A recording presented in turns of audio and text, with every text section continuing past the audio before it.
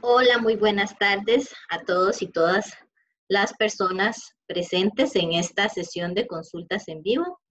Eh, por respeto a los que estamos ya en la sesión, vamos a dar inicio.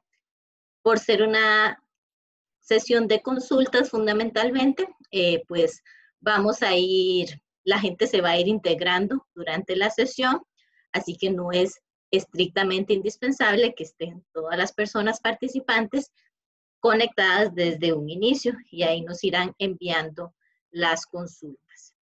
Voy a hacer la presentación de las personas que vamos a estar facilitando o moderando esta sesión.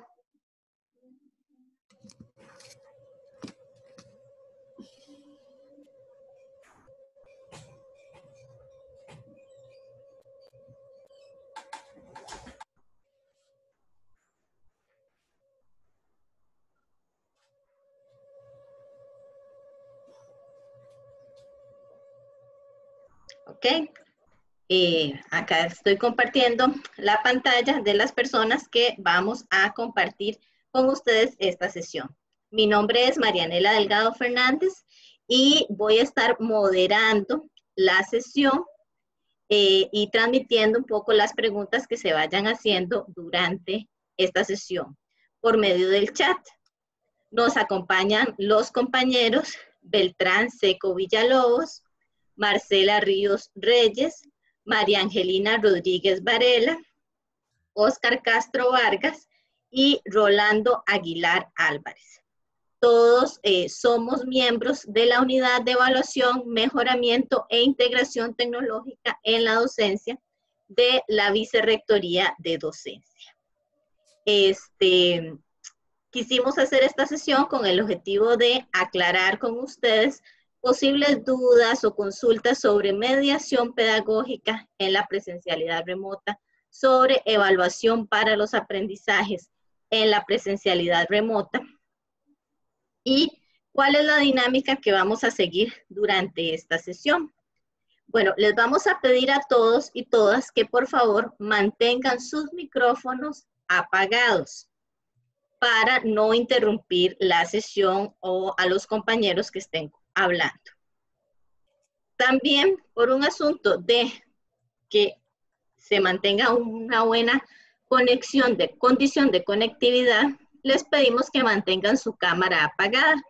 Básicamente vamos a hacer consultas por medio del chat, entonces no necesitamos las cámaras encendidas. Esto es una buena práctica, de paso la comentamos, es una buena práctica para este, nuestras clases en las que utilizamos videoconferencia porque esto nos permite que se optimice el uso del ancho de banda o del Internet. Como es un Zoom, vamos a tener un espacio de consultas por medio de un chat. Entonces, todas las consultas que ustedes tengan, les vamos a solicitar que las vayan colocando en ese chat. No se apresuren, vamos a tener un buen espacio. Y las preguntas no las vamos a ir leyendo probablemente en el orden que van apareciendo, porque las vamos a ir agrupando por temáticas. Si no pudieron participar o si después quieren repetir o ver esta sesión, la vamos a subir en el canal de YouTube de la Vicerrectoría de Docencia. Entonces, ahí lo pueden encontrar. No se preocupen si se les pasa algún dato. Entonces, les decía, no se preocupen por el tiempo porque los compañeros van a hacer una introducción. Los compañeros Beltrán Seco y Oscar Castro van a hacer una introducción un poco reflexiva sobre el tema de mediación pedagógica y las compañeras Marcela y María Angelina sobre el tema de evaluación para los aprendizajes. Ahí de paso las van a ir conociendo, van a ir conociendo su voz. Entonces, eh, durante este espacio en que ellos están hablando, tienen el chance de enviar sus consultas al chat. Entonces, los dejo de momento con Beltrán y con Oscar, que van a hacer la primera parte, y luego con María Angelina y con Marcela. Beltrán va a tomar la presentación, entonces yo voy a dejar de compartir en este momento. y apagar mi cámara también. Adelante, Beltrán.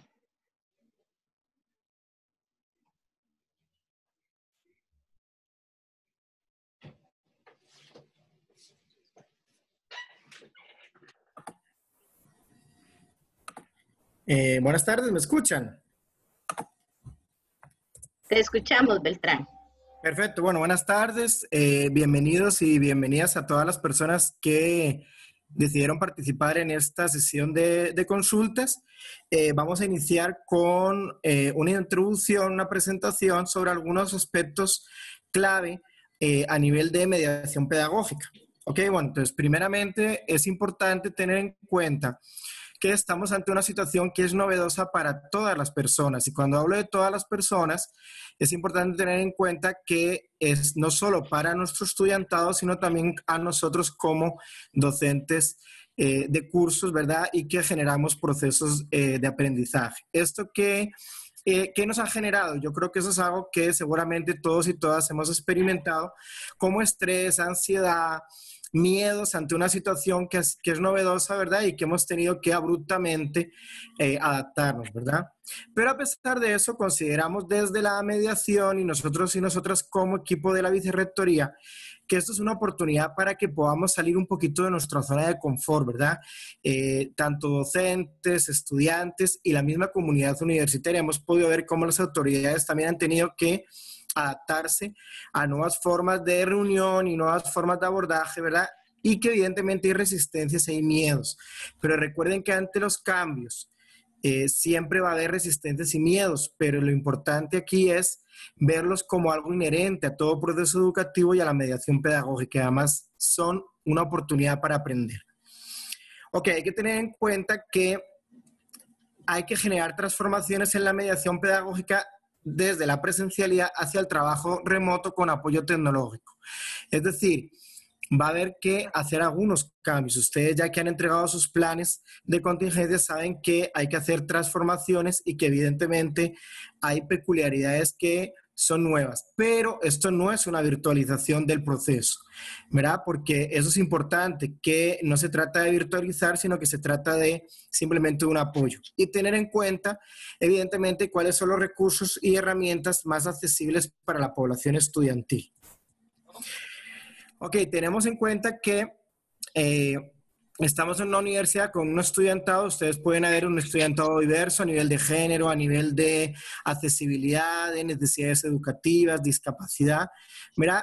Y que es importante tener en cuenta que eh, son personas que llevan a lo mejor cuatro cursos, cinco cursos, y como pueden ver ahí, cada curso implica eh, una serie de, estrategias, ¿verdad? Por ejemplo, en el curso del lunes pueden ver ustedes ahí en la pantalla, tienen que hacer una investigación grupal, tienen que hacer la lectura de diferentes textos, además hay un Zoom sincrónico en ese día y tienen que trabajar sobre algunas tareas que están en OneDrive.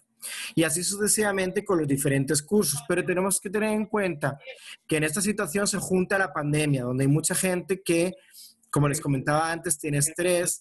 Hay, hay personas que tienen cargas familiares, hay personas que estudian en la universidad que tienen trabajo y están también en procesos de teletrabajo. Y también tenemos que tener en cuenta el Internet porque hay muchas personas que no tienen ese ancho de banda, eh, ¿verdad? Como lo pensábamos. Ok, y luego tenemos a nosotros como personas docentes, donde nos motiva, donde tenemos muchas preguntas, ¿verdad? ¿Qué herramienta uso para mi clase? ¿Cómo puedo motivar a mis estudiantes? ¿Cómo lograr que mis estudiantes presten atención? ¿Cómo me comunico con esos estudiantes? ¿Cómo los motivo? Y evidentemente, durante todo ese proceso de mediación, como parte inherente al proceso de aprendizaje, ¿cómo evalúo todo ese proceso para los aprendizajes de mis estudiantes? Pero alto, necesitamos pensar qué necesito que los estudiantes aprendan. Y eso es importante, porque cuando estamos en una situación remota de aprendizaje, tenemos que, digamos que, no centrarnos en los contenidos, sino que tenemos que enfocarnos en el aprendizaje. ¿Qué quiero que aprendan mis estudiantes en esta semana? Es importante que nos planteemos eso. Verá, ¿cómo lo voy a propiciar que logren ese aprendizaje? ¿A través de qué estrategias lo voy a hacer? ¿Y cómo voy a evaluar ese aprendizaje? ¿De qué manera voy a utilizar una estrategia de evaluación que me ayude a poder conocer yo como docente si están aprendiendo, pero también que mis estudiantes puedan también conocer si ellos saben qué están aprendiendo, cómo lo están aprendiendo, para que puedan ir haciendo modificaciones y mejoras durante el proceso, ¿verdad? Porque recuerden que eso es un proceso de doble vía, tanto en el estudiante que tiene que aprender y mejorar y evaluar su propio proceso, pero también nosotros como docentes tenemos que ir evaluando y viendo cómo está haciendo nuestro proceso de mediación. Y una de las características es la flexibilidad que tenemos que tener en la mediación pedagógica y en el proceso de aprendizaje en general. Entonces, lo primero, eso es una cuestión de recordatorio, tomar en cuenta siempre el contexto de cada estudiante, no solo a nivel de accesibilidad de nuevas tecnologías, sino también a nivel de necesidades de aprendizaje. Tenemos estudiantes con discapacidad y algunos que tienen ajustes metodológicos de evaluación aprobados por el Departamento de Orientación y Psicología, por el programa de psicopedagogía pero también el contexto familiar y laboral, ¿verdad? No es lo mismo estudiantes que están trabajando, que tienen cargas familiares, ¿verdad? Que se les va a dificultar más eh, accesibilidad al tiempo y todo eso, entonces tenemos que tener en cuenta eso a la hora de planificar nuestros procesos de mediación remota. Hoy más que nunca la mediación debe centrarse, como les decía, en las personas estudiantes y en el mismo proceso de aprendizaje y no únicamente la en la transmisión de contenidos. Eso es importante porque evidentemente los contenidos son importantes, pero no es el centro de ese proceso de, formación o de aprendizaje. Y esta flexibilidad debe acompañarse siempre de realimentaciones permanentes, como les comentaba antes, a nivel formativo, para que los estudiantes puedan ir visualizando cómo están aprendiendo y que nosotros visualicemos también cómo estamos llevando a cabo nuestro proceso de mediación. Si es un proceso de mediación, vamos a ver si está sobrecargado o no. Y tenemos, bueno, el uso de herramientas tecnológicas como apoyo a la mediación pedagógica, que es utilizar herramientas tecnológicas que yo como docente conozca y domine. Creemos desde la vicerrectoría que este no es el momento de probar nuevas herramientas que no conocemos porque no estamos virtualizando el proceso, sino que estamos atendiendo una situación de contingencia, de urgencia, de emergencia y por lo tanto es importante manejar eh, herramientas tecnológicas que ya he utilizado, que ya conozco. Por ejemplo, si yo he utilizado ya el aula virtual institucional, lo puedo seguir usando. Lo importante en un uso de la herramienta es que nos facilite siempre el proceso de aprendizaje y nos facilite el, la interactividad entre el grupo y los materiales que le estamos presentando a los estudiantes. Y recuerde que el uso de nuevas tecnologías nos va a implicar un nuevo rol, que va a ser un rol más que nada de guía y de mediador del proceso. Vamos a ver que los estudiantes en un proceso remoto ¿verdad? Con apoyo tecnológico, tienen que trabajar más lo que es la, el proceso autorregulado que ahora mi compañero Oscar les va, les va a ir comentando.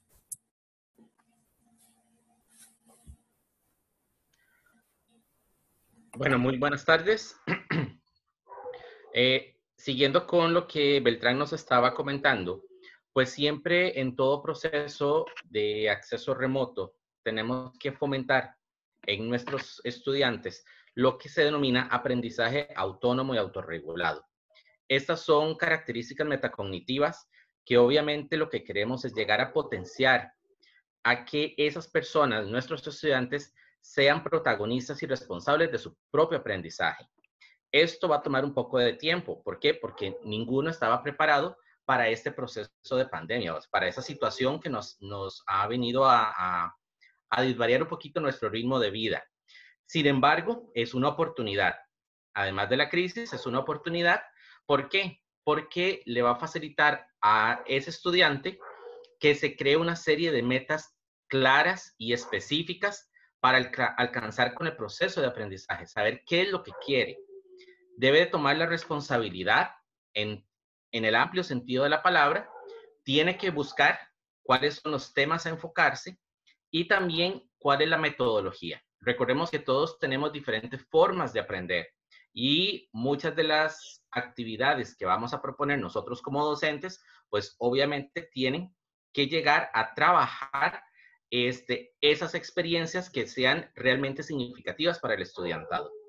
Obviamente también cómo organizar el tiempo. No es lo mismo estar en una clase presencial que dura de tres horas a cuatro horas a estar frente a un computador donde se le solicita participar en un foro, hacer ciertas tareas, hacer grupos hacer trabajos colaborativos que obviamente también tienen que organizarse y ver la forma en cómo va interiorizando eso. O sea, eso es lo más importante, cómo vamos a interiorizar el contenido en función de la necesidad de ese estudiante.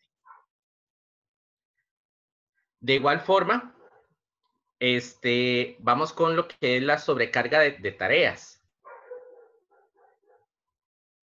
Gracias. Este, es importantísimo que en este momento, y sabemos que nosotros nos interesa como docentes en, ciertos momentos, decir, bueno, eh, ese es el contenido y eso es lo que tienen que aprender.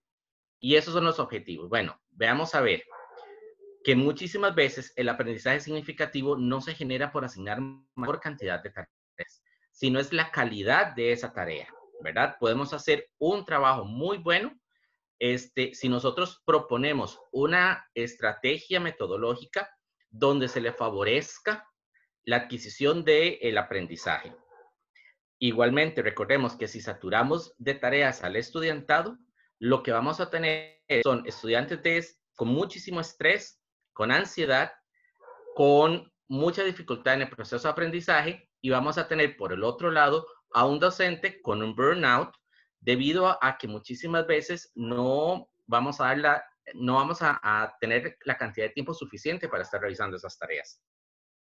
Por lo tanto, siempre es importante consultar, llevar, tener esa vía de comunicación con el estudiantado para ver qué es, cómo se están sintiendo con los trabajos asignados, cómo se están sintiendo con la metodología que estamos, que estamos llevando hoy día.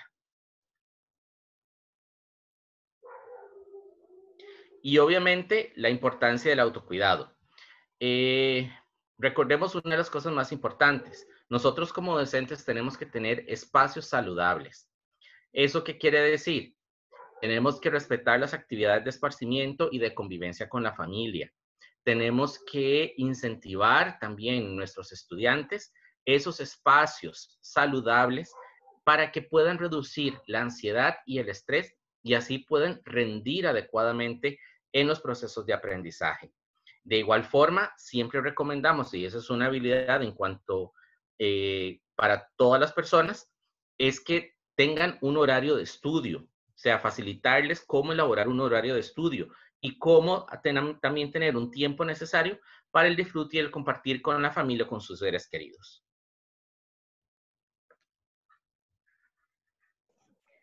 Ok, ahora vamos a la parte de la introducción del tema de evaluación de los aprendizajes. Eh, las compañeras de evaluación Marcela y María Angelina nos van a compartir esta parte.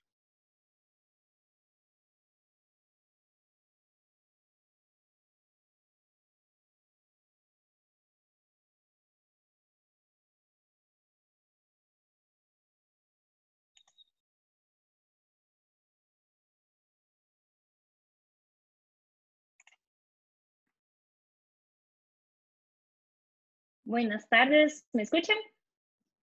Sí, te escuchamos, Marce. ¿Sí? Sí. Eh, ¿Puedo compartir la pantalla yo? Ok. Gracias.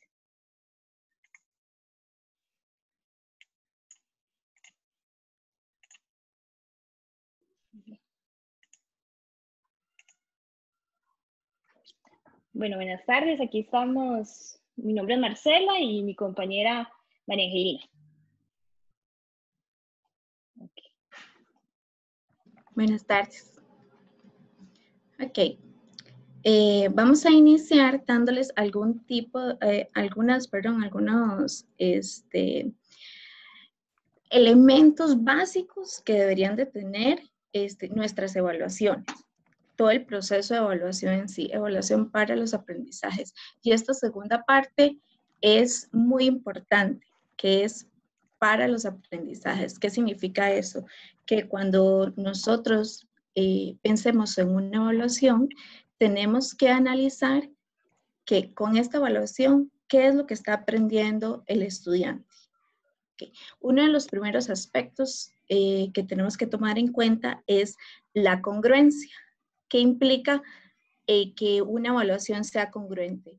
Eso implica que que digamos que la forma en la que se medió este, este, mm, esta, digamos, este aprendizaje tiene que ir congruente con lo que yo voy a seleccionar para poder evaluarlo.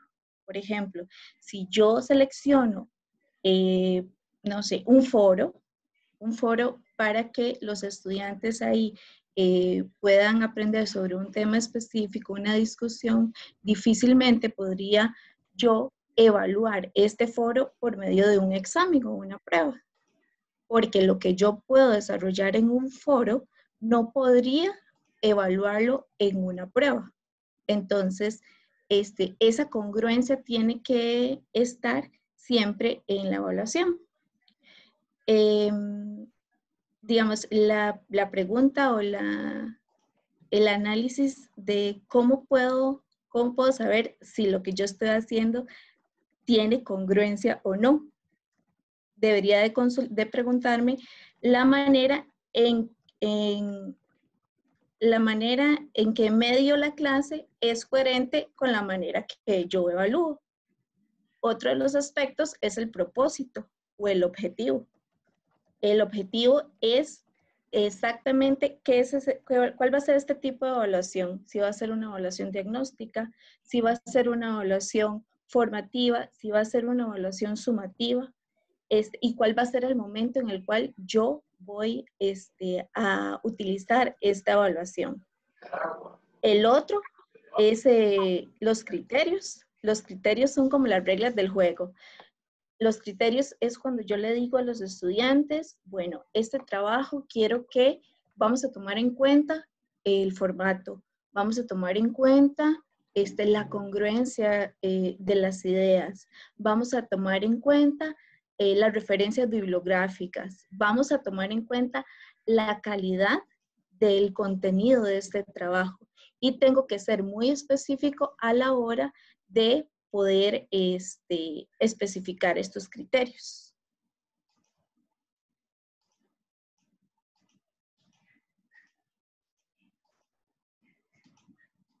Arce.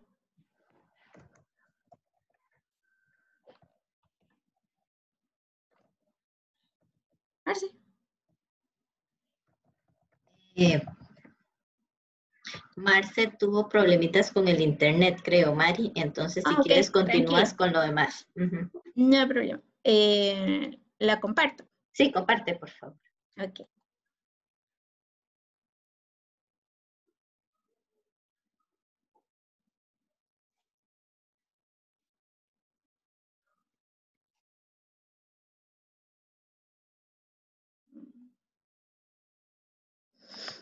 Ok, y vamos por este, los criterios. Ok, es la, el otro aspecto importante son los recursos. Y para seleccionar los recursos tengo que ser eh, muy analítico en qué es, o sea, en qué voy a elegir. Por ejemplo, si yo no trabajo rúbricas, eh, mi, mi recurso no debería ser una rúbrica automatizada porque si no manejo el instrumento, no debería, eh, en este momento, eh, no debería de ir a, ver cómo se utiliza esto. Podría utilizar algo tan sencillo como lo mismo que utiliza una presencialidad, una rúbrica en Word, se la envío a los estudiantes para que la vean y ese va a ser el instrumento y entonces este, voy llenando por estudiante este, cada una de las rúbricas para poder darle la devolución este, al mismo. Entonces, eso es, eso es algo este, muy, muy importante. O sea, ¿cuál, cuál va a ser este medio eh, que voy a utilizar? Y eso no implica que sea algo muy novedoso. Eh, otro es la comunicación y yo creo que esto es un aspecto que debemos de tomar en cuenta eh, siempre. Eh, es la comunicación que vamos a tener con nuestros estudiantes, la comunicación de que la, la comunicación de este objetivo de la evaluación, la comunicación de los criterios de la evaluación, la comunicación, por ejemplo, que es otro aspecto que tenemos que tomar en cuenta, que es la realimentación. O sea, todos estos aspectos siempre tenemos que estar en constante comunicación con los estudiantes y sobre todo someter los instrumentos que vamos a utilizar para hacer la evaluación, eh, someterlos eh, al criterio de los estudiantes. ¿Qué significa esto? Digamos, a veces nosotros como profesores utilizamos un lenguaje técnico y los estudiantes no, no comprenden eh, este lenguaje. Entonces, es muy importante someter los instrumentos a los estudiantes para que ellos estén claros en qué es lo que significa, qué significan esos criterios que mi profesor o profesora este, dice que, que son los que vamos a utilizar. Eh, otro de los aspectos, como les decía, que es sumamente importante, es la realimentación. La realimentación, la realimentación no es solamente decirlo, tiene un excelente, tiene un bueno, tiene un 90, este, es poder darle un seguimiento real al aprendizaje de este estudiante, que a partir de esta evaluación que hizo, en cuáles son los aspectos en que debe mejorar. Y la realimentación también es este, la parte en la cual yo le digo al estudiante cuáles son los aspectos positivos de su desempeño. O sea, de, de este trabajo, ¿qué fue lo que hizo bien? Para que lo siga haciendo. No solamente este, centrarnos en, cuáles son los aspectos eh, por mejorar. Como les decía, hay algunas preguntas que nos podemos hacer eh, para poder analizar todos estos elementos que llevan el proceso de evaluación con respecto a la coherencia, de qué manera, en, la manera en que medio la clase es coherente con la manera en la que evalúo. Con respecto al propósito, con esta evaluación se promueve el aprendizaje de mis estudiantes, que eso es lo más importante. Em, los estudiantes tienen claras las reglas de la actividad eh, de evaluación y saben qué se espera de la entrega que tienen que hacer. Eh, de los recursos, cuáles son los materiales y los recursos que tiene que usar el estudiante. Eh, la comunicación, cómo me comunico con mis estudiantes. Son claras mis indicaciones, las fechas, el medio de entrega, los pasos que tienen que hacer, etc. Y el más importante, que es la realimentación, es cómo hago el proceso de revisión, cómo le doy seguimiento al proceso de aprendizaje de mis estudiantes. Esos son los elementos básicos y claves con respecto a lo que es todo el proceso de evaluación. Y es, yo, cuando damos cursos de evaluación, yo siempre digo que esta es la parte favorita de todos los profes, este, que son los instrumentos. ¿Qué instrumentos podemos utilizar? Bueno, podemos utilizar de los que se recomiendan. Eh, vamos a ver, podríamos darle un listado de todos los instrumentos, pero lo más importante de esto es este, saber cuál es el objetivo de la evaluación porque sin el objetivo de la evaluación yo no puedo saber qué instrumento este, es el, el más adecuado, ¿no? Y estos son algunos de esos instrumentos, como la rúbrica, las listas de cotejo, este, los exámenes y las, y las escalas, y dependiendo de qué tipo de escalas. En los exámenes, por supuesto, dependiendo cómo se hacen los ítems, cuáles son los ítems este, que, en los cuales yo puedo ver este, mayor proceso en su aprendizaje, cuáles son los ítems que no deberíamos utilizar tanto porque este, depende de cómo los plantee, lo que estoy favoreciendo es a la memorización y no al aprendizaje. En las listas de cotejo, si, si necesito eh, que el estudiante eh, ver una destreza, por ejemplo, eh, saber que, que, ya lo cumplió o que no lo cumplió. Y las rúbricas que por supuesto eh, son, creo que es, que es el instrumento más, eh, más versátil que podamos utilizar em, en las evaluaciones en general. Listo. Ok, bueno, muchas gracias a los compañeros que nos han apoyado con esta introducción y durante esta introducción nos han empezado a llegar sus consultas por medio del chat. Las hemos ido anotando y las vamos a ir contestando poco a poco. Eh, vamos a seguir con algún orden en el tema de contestar las preguntas. Vamos a contestar primero las preguntas que han sido más relacionadas con el tema de mediación pedagógica.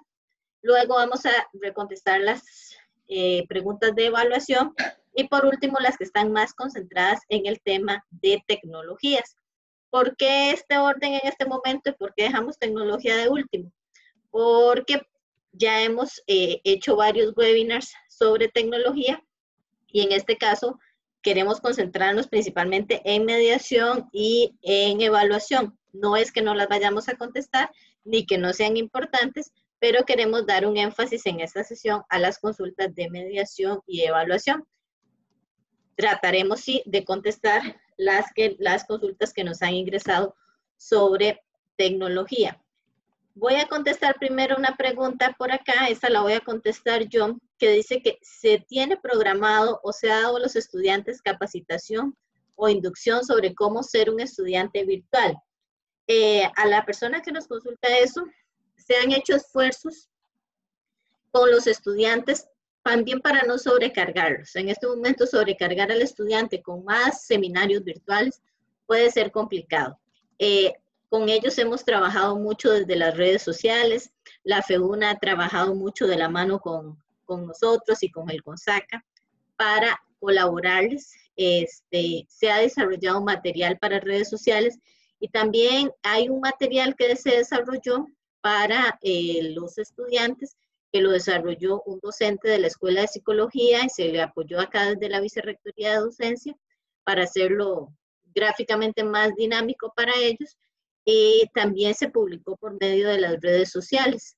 Eh, cuando se suba el, el, el video, lo podemos dejar en los comentarios de los videos o ahorita eh, se los coloco en el chat. El link está subido en los, en los documentos de la universidad, entonces ahorita les subo el link para que lo tengan, es un documento concreto, porque si no hemos querido saturar más a los estudiantes con más seminarios, pues puesto que ya están bastante llenos de actividades en la virtualidad. Entonces, esa sería la respuesta a esa pregunta. Entonces, vamos a comenzar con las consultas de mediación pedagógica.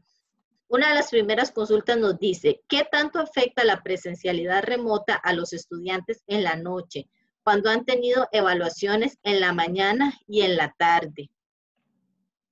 Y tal vez la podemos unir con esta otra que dice, si pueden compartirnos sobre cómo gestionar el tiempo de la clase, por ejemplo, una clase de tres horas presenciales cómo estimar el equilibrio en el tiempo presencial remoto.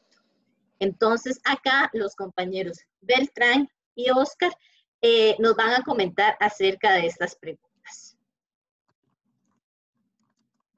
Ok, si quieren inicio, inicio yo. Eh, bueno, primeramente es importante cuando uno eh, diseña una clase, una clase en presencial remota, por ejemplo, de tres horas, como lo que nos comparte el compañero o compañera, eh, primero es importante saber que eh, las clases eh, a nivel remoto no tienen por qué ser solamente sincrónicas, es decir, no tienen por qué ser únicamente, por ejemplo, solamente lo que es una videoconferencia en Zoom. Yo puedo establecer actividades que sean de manera asincrónica, donde yo le doy al estudiante un tiempo determinado como dos, tres, cuatro días, incluso una semana, para que realice una determinada actividad de aprendizaje. Entonces, con eso yo ayudo a que las personas, estudiantes, puedan eh, equilibrar, puedan eh, gestionar su propio tiempo, porque recuerden lo que hablábamos al principio, vamos a tener estudiantes que se dedican todo el tiempo a su, su, carrera, a estudiar, pero va a haber otros estudiantes que trabajan además de estudiar, que además son madres o padres de familia y eso es importante tenerlo en cuenta, ¿ok?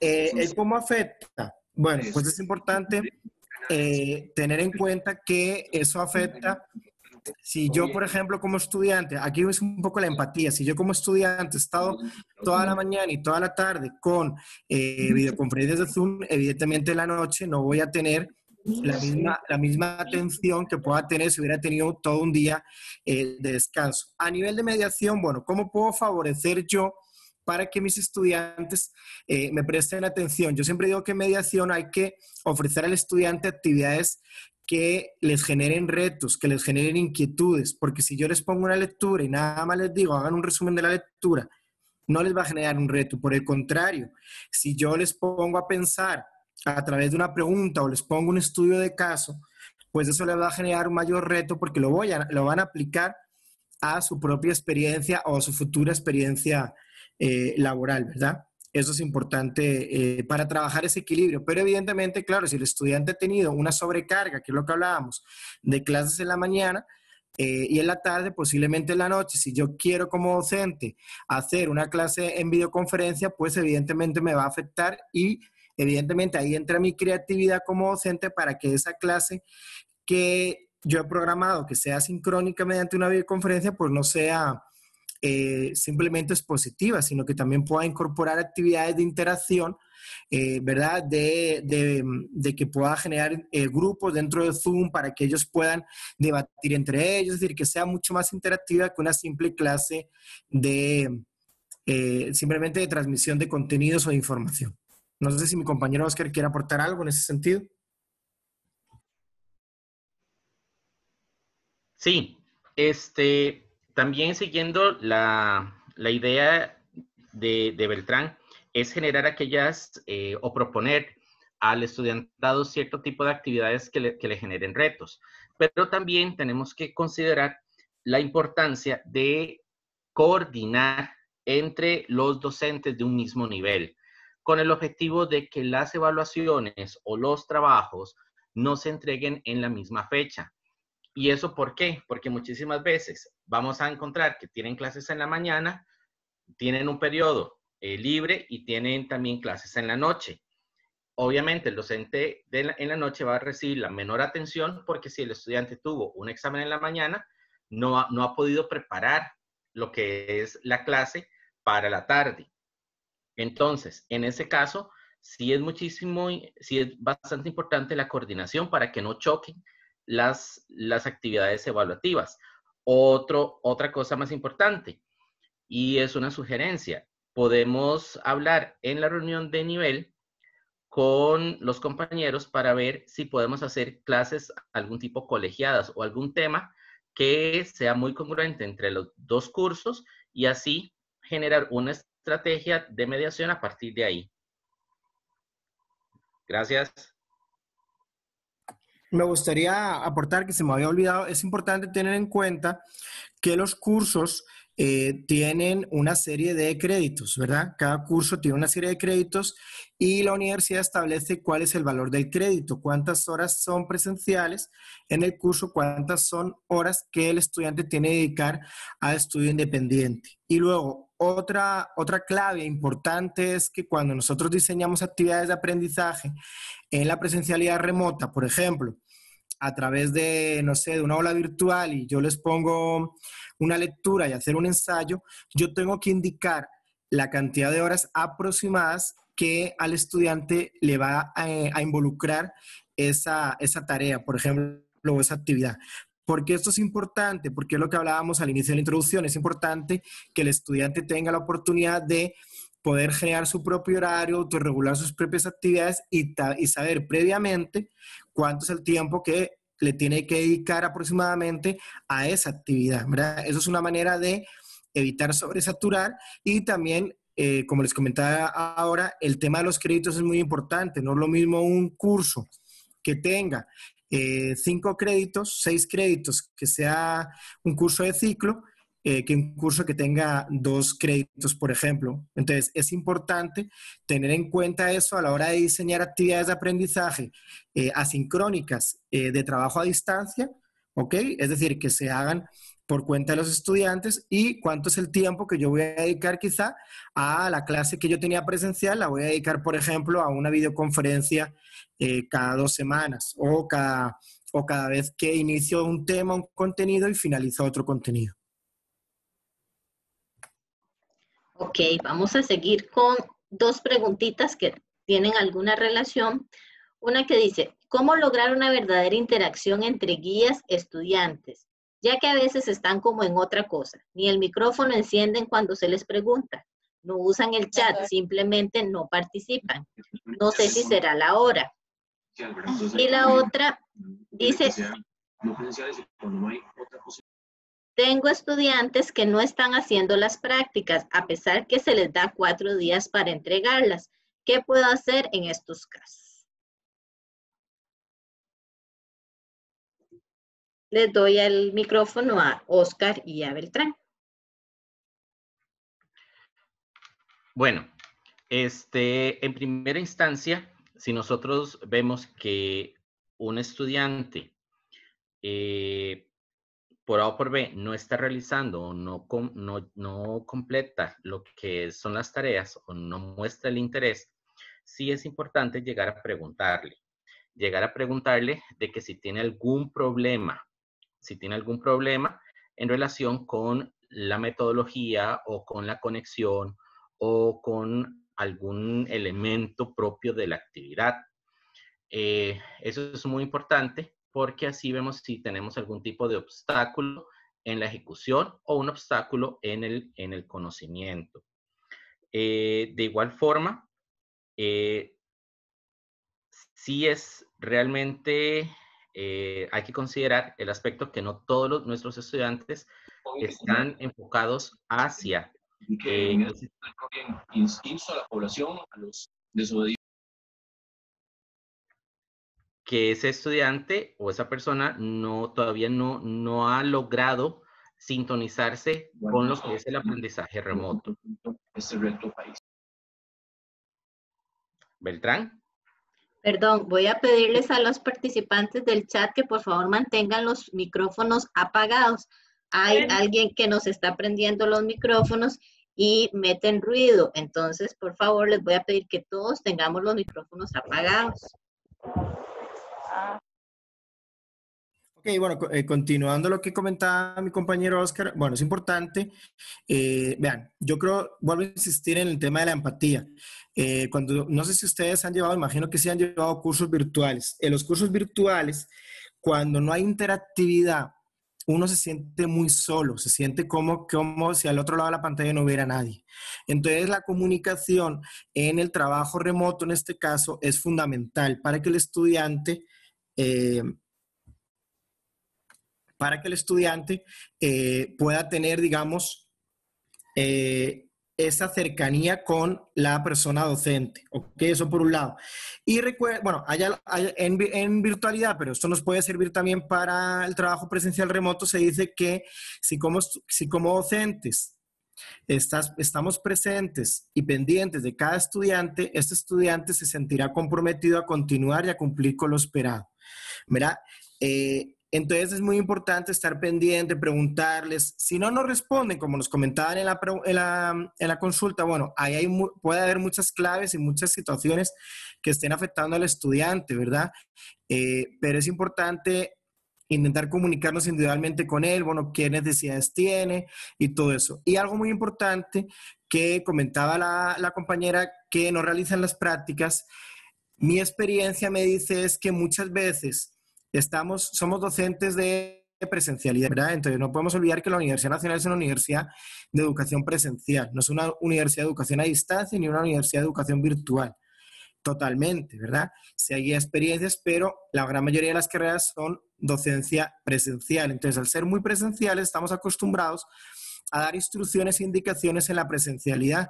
Y cuando elaboramos algún tipo de situación de aprendizaje, eh, las indicaciones o la guía o lo que llamamos en mediación la ubicación o el encuadre no está muy claro y entonces a veces los estudiantes al hacer esas prácticas se pierden. Entonces es muy importante que uno cuando plantea una actividad, una práctica o algo, es que esté muy bien eh, las instrucciones, las indicaciones, lo, lo que les decía anteriormente, el tiempo aproximado que le puede llevar. Recordemos que el tiempo va a depender también de cada persona, pero puede ser un aproximado.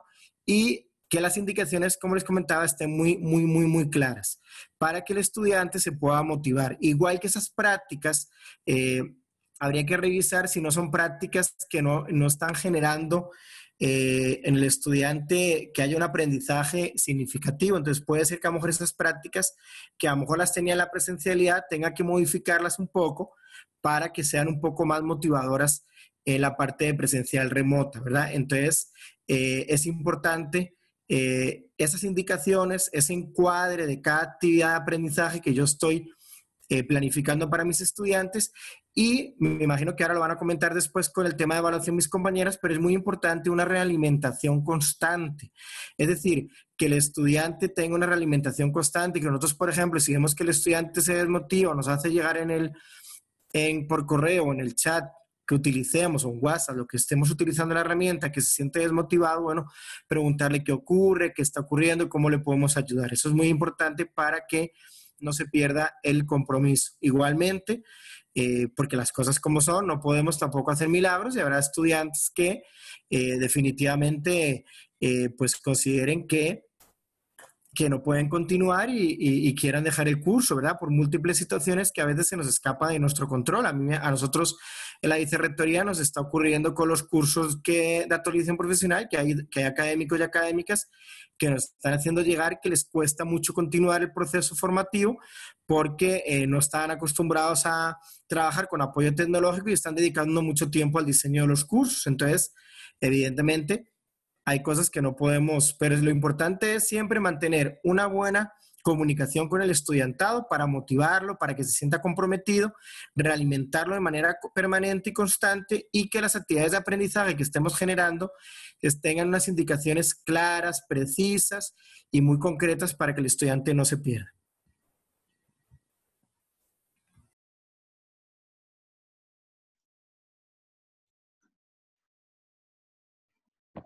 Ok, muchas gracias, Beltrán. Vamos a continuar con las otras preguntas. Dice una pregunta, en una clase un estudiante me mencionó que no siente que esté aprendiendo en algunos cursos. ¿Qué nos recomiendan a los docentes para estar más, pendientes del aprendizaje logrado o no?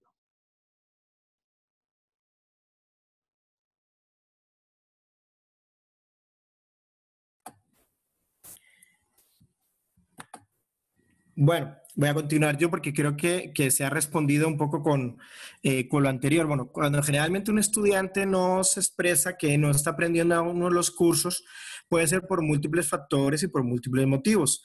Eh, aquí lo importante es comunicarnos con él, preguntarle qué es lo que está ocurriendo, por qué siente que no está aprendiendo y a partir de ahí tomar decisiones a nivel de mediación pedagógica. Por ejemplo, para poner un ejemplo, si el estudiante me, eh, nos dice que siente que no está aprendiendo porque eh, le cuesta mucho leer y hay muchas lecturas, por ejemplo, o nos indica, por ejemplo, que es un curso de matemática financiera, por poner un ejemplo, y nos dice que hay muchas prácticas de ejercicios y que no entiende, no comprende cómo hacer el ejercicio. Entonces, a partir de esas consultas, yo tengo que modificar, ¿verdad? Y darme cuenta que a lo mejor algo en esta mediación pedagógica no está eh, adecuado y que por lo tanto tengo que modificarlo en este proceso. Entonces, por ejemplo, si eso pasara con lecturas, pues quizá tendría que buscar eh, si la lectura es importante para el curso, porque a nivel de contenidos necesito que los estudiantes lo lean, no quiere decir que yo voy a eliminar la lectura, pero yo, yo podría dividir la lectura en pequeñas partes y al final de cada parte poner un ejercicio de reflexión o una práctica pequeñita que ayude a asimilar esos contenidos que tiene esa parte de lectura. Entonces, por ejemplo, si es una lectura de 30 páginas, yo podría dividirla en tres, en 10 páginas por, eh, por, digamos, por parte y hacer un ejercicio cada esas 10 páginas. O si es una lectura más larga a nivel de tiene capítulos, bueno, lo puedo ir por capítulos y hacer ejercicios de autoevaluación, por ejemplo, o ejercicios de práctica en ese sentido. Entonces es importante eso. Y luego, mi experiencia también me dice que muchas veces en la virtualidad, a mí me pasa, hablo por, eh, por mí, espero que les sirva la experiencia, es que tendemos a generar experiencias de aprendizaje en la virtualidad o en el trabajo remoto muy individuales, ¿verdad? Entonces, hacer un ensayo individual, hacer un mapa conceptual de la lectura individual, porque nos da miedo o no sabemos cómo generar actividades grupales en, la, en el trabajo presencial remoto. Y la interactividad grupal a los estudiantes les motiva mucho porque ven el progreso de sus, compañeros y sus compañeras. Están viendo, hey, compa, ¿cómo te va con la práctica? Ay, pues vieras que yo estuve revisando un video de YouTube y me sirvió, te paso el link. Porque entre ellos va a haber un apoyo. Pero si no hay actividades de mediación que generen esta interactividad, actividades grupales aprendizaje, no lo, vamos, no lo vamos a poder lograr y eso puede generar que por eso ellos no participan, se desmotivan y todo eso.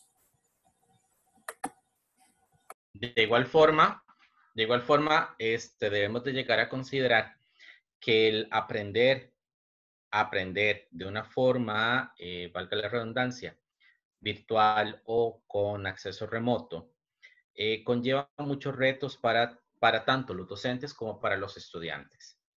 Uno, porque ninguno de, los dos grupos ha practicado ese tipo de actividades con anterioridad, sino esto surge a, raíz de, de, este proceso pandémico.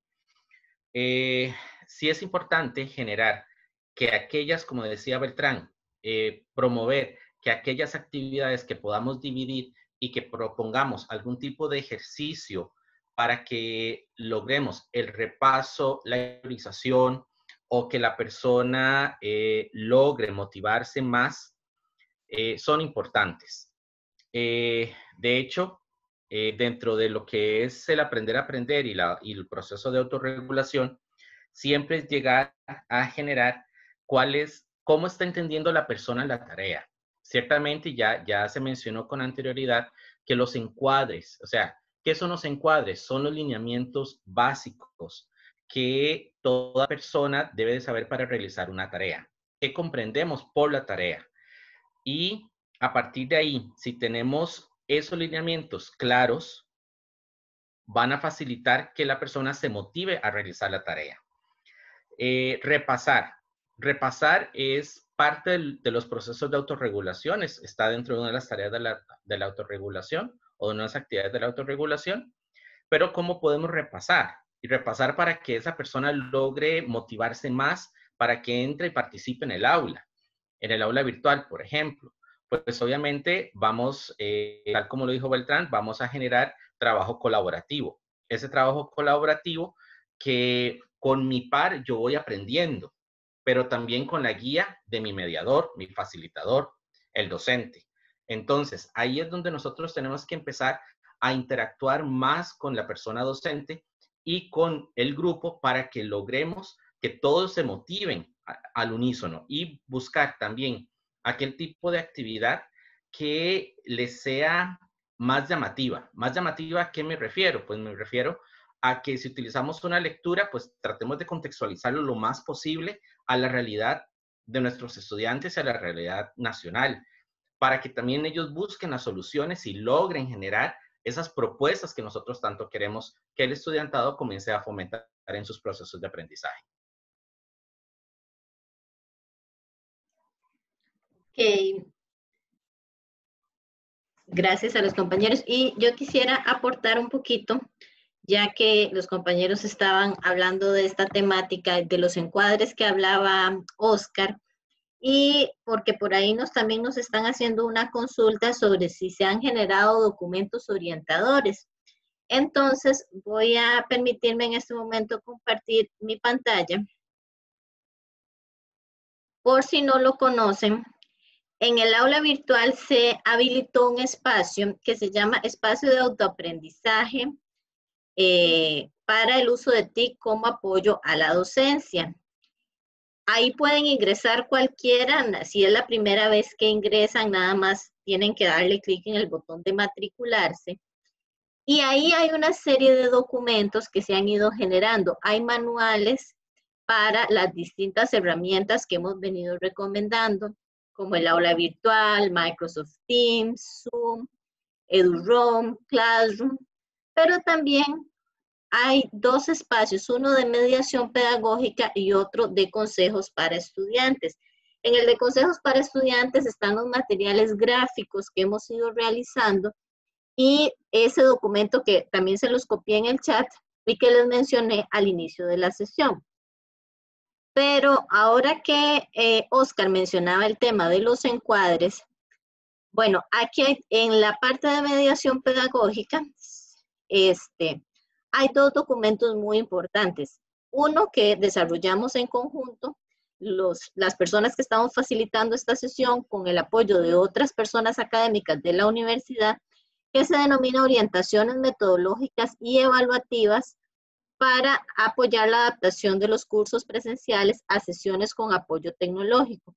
Ahí pueden encontrar una serie importante de ideas que los pueden apoyar. Y además está este que se llama Guía para el Planeamiento de Actividades en el Aula Virtual. Pues se llama en el aula virtual porque se desarrolló hace mucho tiempo, más específicamente para el aula virtual, pero les puede servir para otro tipo de actividades eh, en otras herramientas como Teams, como Classroom, como Meet.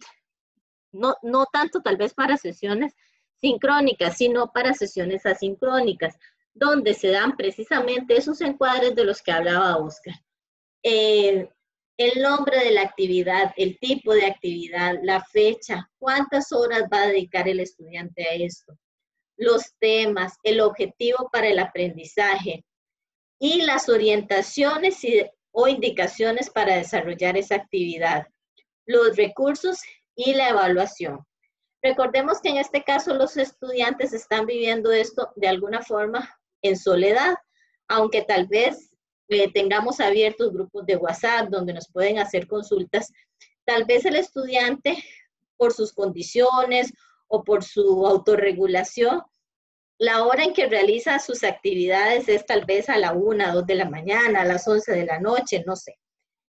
Y para un estudiante puede ser muy frustrante decir, bueno, me voy a sentar a hacer X o Y actividad y llegar y no tener clara las indicaciones de esa actividad. Y a esa hora no voy a escribirle a mi profesor o tal vez ni siquiera tengo las condiciones para escribirle a mi profesor o mi profesora. Entonces, como personas docentes tenemos que hacer un esfuerzo bastante grande para que esas indicaciones sean lo más claras posibles, para que el estudiante cuando se siente hacer su actividad no se sienta desubicado. Ese era mi aporte. Y vuelvo al rol de moderadora. Vamos a hacer las siguientes preguntas, eh, siguiendo con el tema de mediación. Dice, buenas tardes, ¿es válido implementar un modelo pedagógico similar al utilizado por la UNED con programación de lecturas y tutorías remotas?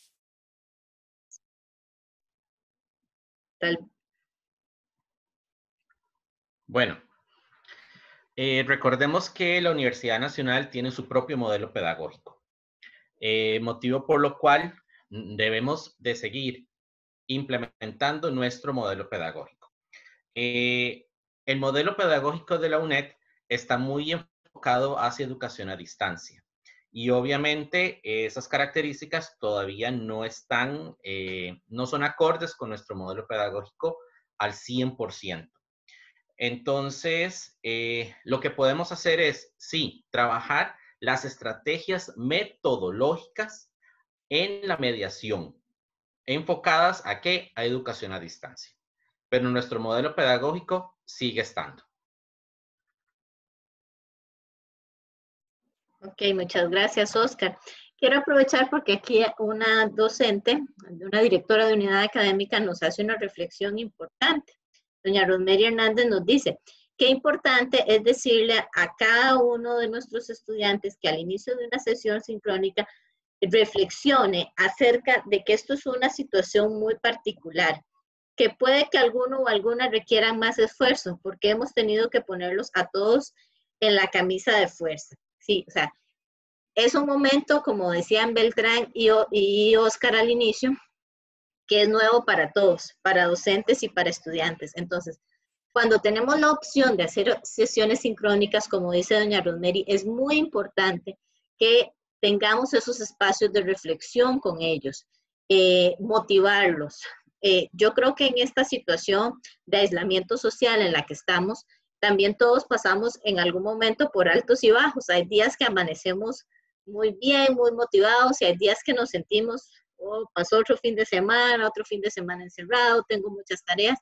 Entonces, nuestro rol como docentes, como motivadores, es fundamental. Y sí, hacerles ver a los estudiantes que todos estamos en esto y que lo que queremos es un objetivo, que ellos continúen su proceso de aprendizaje, que no tengamos que ver interrumpido el proceso de aprendizaje y que, este, y que todos salgamos adelante.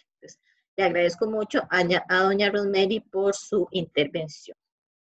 Eh, vamos a ver, vamos terminando con las preguntas de mediación. Este, bueno, alguien nos pregunta, ¿qué sucede si un estudiante definitivamente no se ha localizado? Ni por correo, ni por mensajes, ni por llamadas. Es decir, hay localización cero. Voy a, comenzar la respuesta y si alguno de mis compañeros eh, quiere añadir algo, les, cedo la palabra, pero creo que en este caso es fundamental para la persona que hizo esta pregunta que lo notifique a su unidad académica. En cada facultad, centro o sede se conformó una comisión de apoyo a esta, para esta emergencia. Entonces, es importante que se comunique con su unidad académica para que ellos lo eleven a esa comisión y se busque una ruta para ubicar a ese estudiante. Si bien como docentes somos el primer nivel de contacto, pues si ya el caso se ha elevado a que no hay manera de contactarlo, es importante que usted lo lleve a su unidad académica para que eventualmente la unidad académica también lo transfiera, ya sea a la decanatura o a la vicerrectoría de vida estudiantil, para buscar una ruta que nos permita ubicar a ese estudiante y darle a ese estudiante la asesoría que requiere.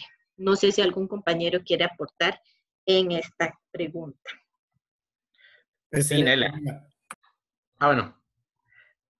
Eh, siguiendo con, lo que estabas diciendo, que es, que es muy atinado, eh, recordemos algo muy importante. Se debe de comunicar a la subdirección de la unidad académica de que no ha sido posible localizar a ese estudiante por todos los medios y se lo vamos demostrando. Eh, que no ha habido respuesta. Entonces, para que busquemos para, que esa persona también lo eleve, como, dice, como decía Marianela, lo vayamos elevando a las instancias correspondientes.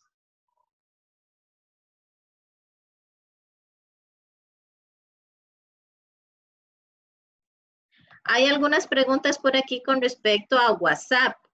Algunos dicen, yo les escribo por WhatsApp y les consulto eh, si han tenido dificultades de acceso para darles un poco más de tiempo, pero me preocupa que algunos no me responden. Eh, y pues de paso alguien le contestó que decía, sí, yo he tenido excelentes resultados con el chat de WhatsApp, el cual lo he utilizado desde el inicio del ciclo lectivo y mantengo una excelente comunicación con todos los estudiantes, especialmente con los que necesitan apoyo tecnológico. Entonces, si alguno de los compañeros quiere aportar algo en ese tema. No, creo, Nela, que es lo que hemos estado hablando, ¿verdad? Que es importante utilizar las herramientas que sean más, yo digo siempre, cotidianas para nuestros estudiantes. ¿Y cuál es la herramienta más cotidiana? No diría que los estudiantes y hasta de nosotros y nosotras mismas. El WhatsApp es lo que más, es la, es la, la red social más utilizada a nivel mundial. Entonces yo creo que se trata de escoger la herramienta más sencilla para comunicarnos con ellos. Y si WhatsApp es la, la herramienta para ellos más sencilla, es una manera de comunicarnos con ellos en ese sentido. Como dice la compañera, si ya la persona no responde, pues como dijo Nela, hay que comunicarla a la unidad académica para que se tomen el procedimiento, que se, active el procedimiento adecuado para poder apoyar a este estudiante que no se está comunicando. Ok, Muchas gracias. Eh, y vamos a ir con las dos últimas preguntas que tenemos de momento en el tema de mediación. Las voy a unir. Uno, que creo que ya Oscar lo ha, mencionado ampliamente, eh, ¿cómo será la autorregulación de los aprendizajes? ¿Qué consejos se les daría a los estudiantes? Y nos preguntan si les podemos dar ejemplos concretos de actividades interactivas en una sesión sincrónica de Zoom, que bueno, también podría ser una sesión sincrónica en Teams o en Google Meet, que son las otras herramientas que solemos utilizar para sesiones sincrónicas. Bueno, si quieren, inicio con la, con la segunda. La primera se la dejo a mi compañero Oscar, que, que sabe más sobre ese tema. Con respecto a ejemplos de actividades más interactivas, en, por ejemplo, en una plataforma como Zoom o videoconferencia. Ok, eh, no sé si la licencia que tiene Zoom actualmente eh, nos permite, digamos, generar eh, grupos dentro de Zoom en una videoconferencia. Si, si se pudiera hacer, uno puede generar grupos. Entonces, si yo tengo un grupo de estudiantes de 20 personas, puedo hacer, por ejemplo, cuatro grupos de 5 y plantearles a cada uno, eh, por ejemplo, un caso y lo tienen que resolver entre, entre esos cinco. Después los devuelvo a la sala general del Zoom a los 20 y tienen que hacer una apuesta en común de lo que vieron en cada uno de los casos, por ejemplo, que resolvieron y así hacemos una plenaria eh, grupal. Eso genera mayor interactividad. ¿Qué pasa si yo no puedo hacer eso en Zoom o no lo tengo o, no, o sé hacerlo? Bueno, yo considero que las herramientas tienen que estar al servicio del aprendizaje y no al revés. Entonces, yo puedo tener una sesión Zoom eh, y por ejemplo, yo puedo estar explicando, voy a ponerles un ejemplo que yo he hecho, por ejemplo, yo puedo estarles explicando eh, cómo, cuál es el procedimiento para denunciar un abuso eh, físico, por ejemplo, de una persona menor de edad por parte de un familiar. ¿Ok? Entonces yo establezco un estudio de, estudio de digamos, estoy comentando el procedimiento y en algún momento puedo compartir pantalla, comparto un caso, ¿ok?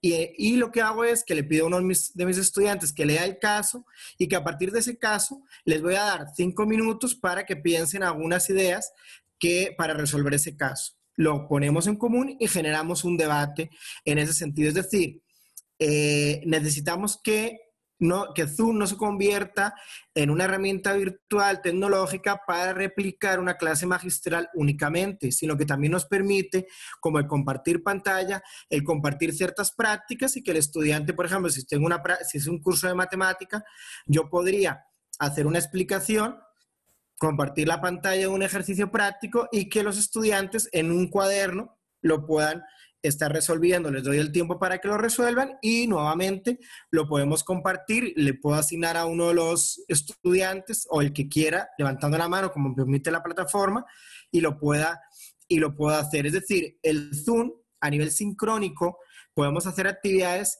interactivas en ese sentido, ¿verdad? Entonces, también imagínense que yo no pudiera o que no sé generar salas de Zoom, podría decirle a los estudiantes, eh, generar grupos de WhatsApp ¿verdad? Y dar tiempo dentro de la, videoconferencia para que ellos preparen una exposición y después lo compartimos en el Zoom. Es decir, permite mucha interactividad. Lo importante es que el estudiante vea que él es responsable de su propio aprendizaje, que es el que tiene que activamente construirlo y no simplemente que me planto eh, delante de una computadora, por ejemplo, y simplemente voy a estar tres horas escuchando al profesor. No, nosotros como docentes necesitamos generar estrategias interactivas donde yo pueda hacer una explicación magistral de 20 minutos y a partir de ahí generar un trabajo en grupos, puedo generar una práctica concreta, puedo generar diferentes estrategias de interactividad, ¿verdad? Como les comentaba el caso de cómo denunciar un caso de abuso físico, bueno, yo puedo poner una serie de, eh, de resolución de, de estudio de casos,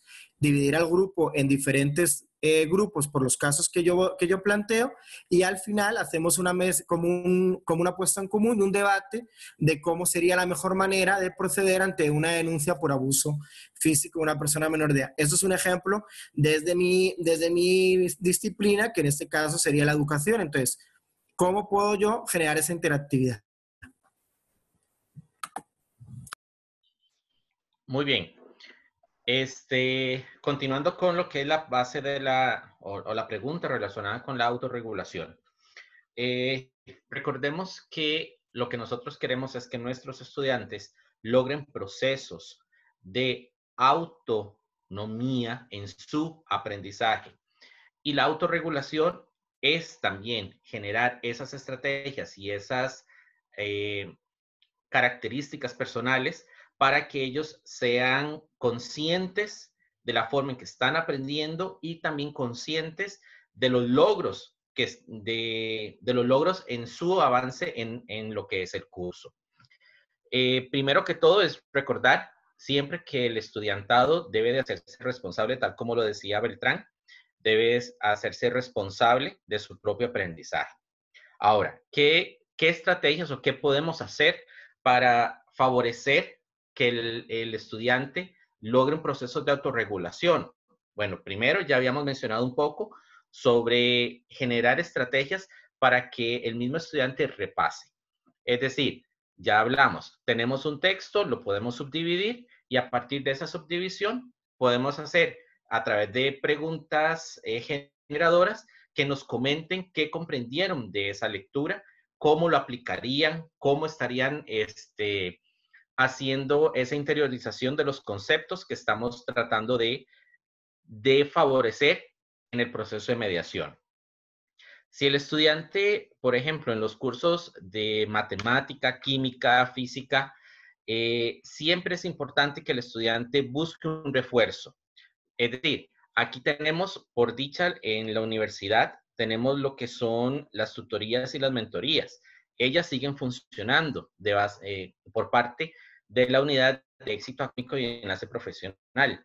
Eh, sí es importante que si el estudiante ve que tiene algún problema y es consciente de que tiene un problema, pues que busque ese refuerzo a través de tutorías o mentorías. También es importante como un ejercicio que el, el, mismo estudiante esté muy direccionado hacia los procesos de autocognición, planificación y sobre todo solución de problemas. Eh, básicamente porque es lo que queremos, o sea, es decir, nuestras estrategias de mediación tienen que estar enfocadas al fin último de que el estudiante solucione un problema. Y ahí es donde vemos cómo su proceso de autorregulación se va dando, eh, va, dando pasos eh, muy, muy grandes. También es importante que ese estudiante, también como proceso de autorregulación, vea en la utilidad al hacer análisis de la tarea. ¿Por qué? Porque si él no le ve la, utilidad, es poco probable de que el estudiante rinda adecuadamente. Entonces, lo que queremos es que buscar siempre estrategias o experiencias de aprendizaje que sean muy útiles para esa persona estudiante. Y obviamente, este, ver cómo es la gestión del tiempo. Esta gestión del tiempo, ya hablamos al inicio de, de nuestra sesión, de que generar horarios para momentos de estudio, momentos de reflexión, momentos de compartir, momentos de ocio, momentos de autocuidado, todos esos espacios son importantes. Y también esa gestión es parte de lo que son los procesos de autorregulación. Gracias. Ok, muchas gracias a Oscar y Beltrán. Eh, hemos completado de momento las preguntas que teníamos agrupadas en el tema de mediación pedagógica. Entonces, ahora vamos a pasar a las, a las consultas de evaluación. Entonces, la primera, bueno, no la primera, la primera pregunta que vamos a contestar es si podrían profundizar sobre la coherencia de la evaluación, cómo revisar esa coherencia. Eh, y les voy a dar entonces el micrófono y la cámara a María Angelina y Marcela.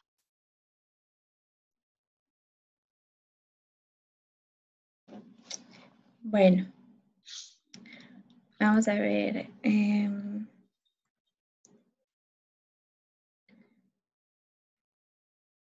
cuando les hablaba sobre la coherencia, sobre todo, eh, tiene que ver con esto. Eh, para los que ya han llevado el curso de evaluación, y van a ver que em, usualmente em, nosotros trabajamos sobre esta este, sobre este gráfico, sobre la coherencia que siempre tenemos que tener con respecto a cuál es el objetivo de aprendizaje que, vamos a tener eh, para esta actividad específica, cuáles van a ser las actividades o actividad de mediación pedagógica y cómo voy a evaluar y realimentar eso. Con esto nos referimos a que este, tenemos que tener eh, una coherencia, una coherencia y tenemos que tenerlo en todo lo que, en, en todo lo que, que, hacemos en este, lo que implica el aprendizaje.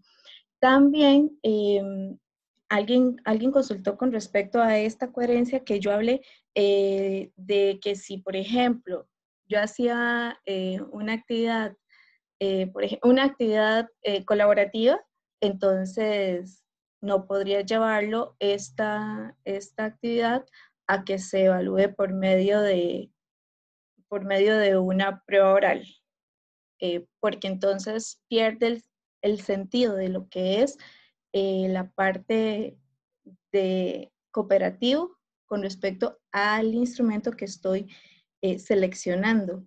existe algo que se llama alineación y esta alineación tiene que ver con, e, con, esto mismo que estamos hablando.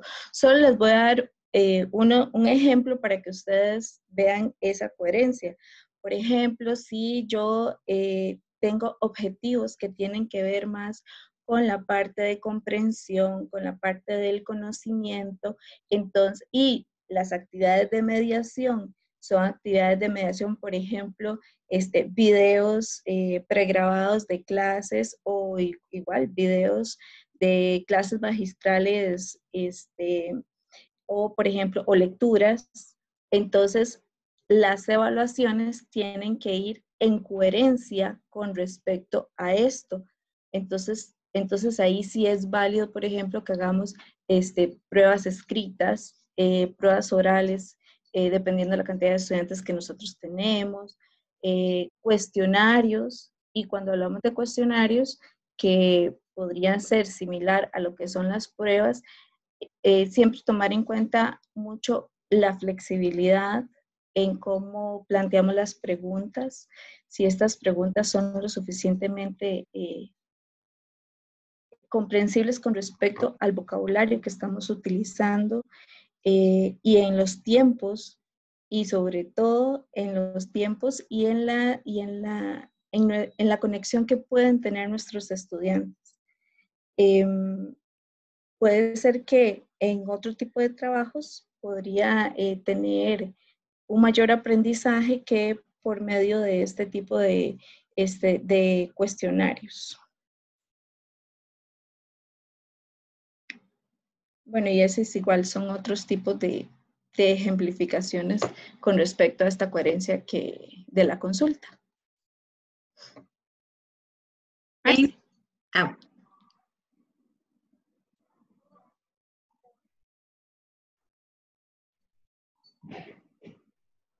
Marci va a aportar o hago la siguiente pregunta. Si quieres la siguiente pregunta. ok. Ok, las siguientes preguntas van más enfocadas al tema de herramientas eh, tecnológicas eh, para la evaluación. Entonces, la primera dice, quiero ejemplos de tipos de evaluaciones mediante alguna tecnología, quizzes o pruebas usando la plataforma virtual la función de cuestionarios en cuestión de tiempo, qué experiencias han tenido, qué recomiendan. Okay. Bueno, Creo que la podemos unir con esta que dice, ¿qué tan conveniente se le extienda los plazos de entrega de instrumento de evaluación fuera de horario de las horas contactos establecidas? Creo que flexibiliza, pero el estudiante lo deja para luego y se recargan con otras actividades de otros cursos. Okay. Yo creo que, bueno, eh, podemos también hacerles un ejemplo, enseñarles un poco nuestras aulas virtuales, porque tanto Mari como yo somos docentes y podemos, y entendemos un poco eso que, que están preguntando en cuanto a los tiempos, porque los estudiantes, por las diferentes circunstancias, nos dicen, profe, no puedo entregar esto, o están pasando circunstancias parte de la vida, ¿verdad? Em, entonces queremos enseñar en nuestra aula, pero yo creo que ahí es muy importante y ya lo retomaron los compañeros y para que vean ustedes cómo todo se va vinculando, que las, las indicaciones de lo que los estudiantes tienen que hacer tiene que quedar muy, muy claro, ¿verdad? Y cualquier herramienta que nosotros utilicemos, ya sea un aula virtual o si mi instrucción de lo que ellos tienen que hacer es por medio de un correo electrónico o un WhatsApp, no importa, pero lo más importante es que el estudiante tenga claridad de qué es lo que se espera que él haga. O sea, qué es lo que se espera que voy a alcanzar en la sesión que tengo que trabajar. Entonces, si yo lo que estoy utilizando son, es un correo electrónico, porque esa es la herramienta que yo me siento cómoda, y es ahí donde les digo, bueno, esta semana vamos a hacer esto, nos vamos a ver en Zoom de tal hora a tal hora, eh, tienen que tener esta lectura hecha y todo, eso es súper importante. Y también porque les da muchísima claridad lo que es el tema de la evaluación. Ellos tienen que tener muy claro los tiempos, ¿verdad? Entonces, em, y esto va vinculado con el tema de la flexibilidad. Nosotros tenemos, y ya lo retomamos muchísimo, el tema de la comunicación. Tenemos que comunicarnos de manera constante con nuestros estudiantes y preguntarles, porque digamos, si es algo generalizado que estamos encontrando, que son, no es uno o dos estudiantes los que se están atrasando, sino es que la mayoría de los estudiantes o que son grupos específicos, es muy importante que nosotros preguntemos por qué está pasando. O sea, puede ser que nosotros, nosotros hayamos mandado un trabajo que es grandísimo y como lo veíamos al inicio, los muchachos están llevando cinco cursos y todo en familia y todo. Y lo que tenemos que concentrarnos es en el aprendizaje. Entonces, ir limitando. Yo creo que ahí una de las, ideas es, ¿qué es lo más importante? Yo que quiero que mis estudiantes aprendan y ahí dirijo la estrategia de evaluación. Y aquí es donde mediación y evaluación se juntan, ¿verdad? Porque una buena estrategia me permite de mediación, o sea, yo a través de una estrategia de mediación puedo evaluar. Entonces, esto de actividades de foros de preguntas generadoras, eso todo nos puede ayudar a plantear una estrategia de evaluación clara. Mari. Eh, bueno, si gustan, les mostramos un ejemplo.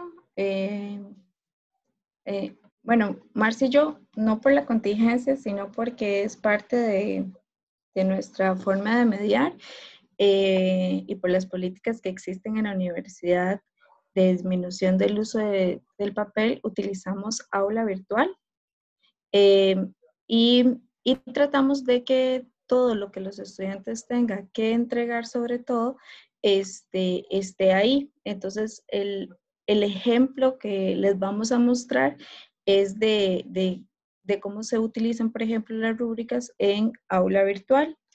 Em,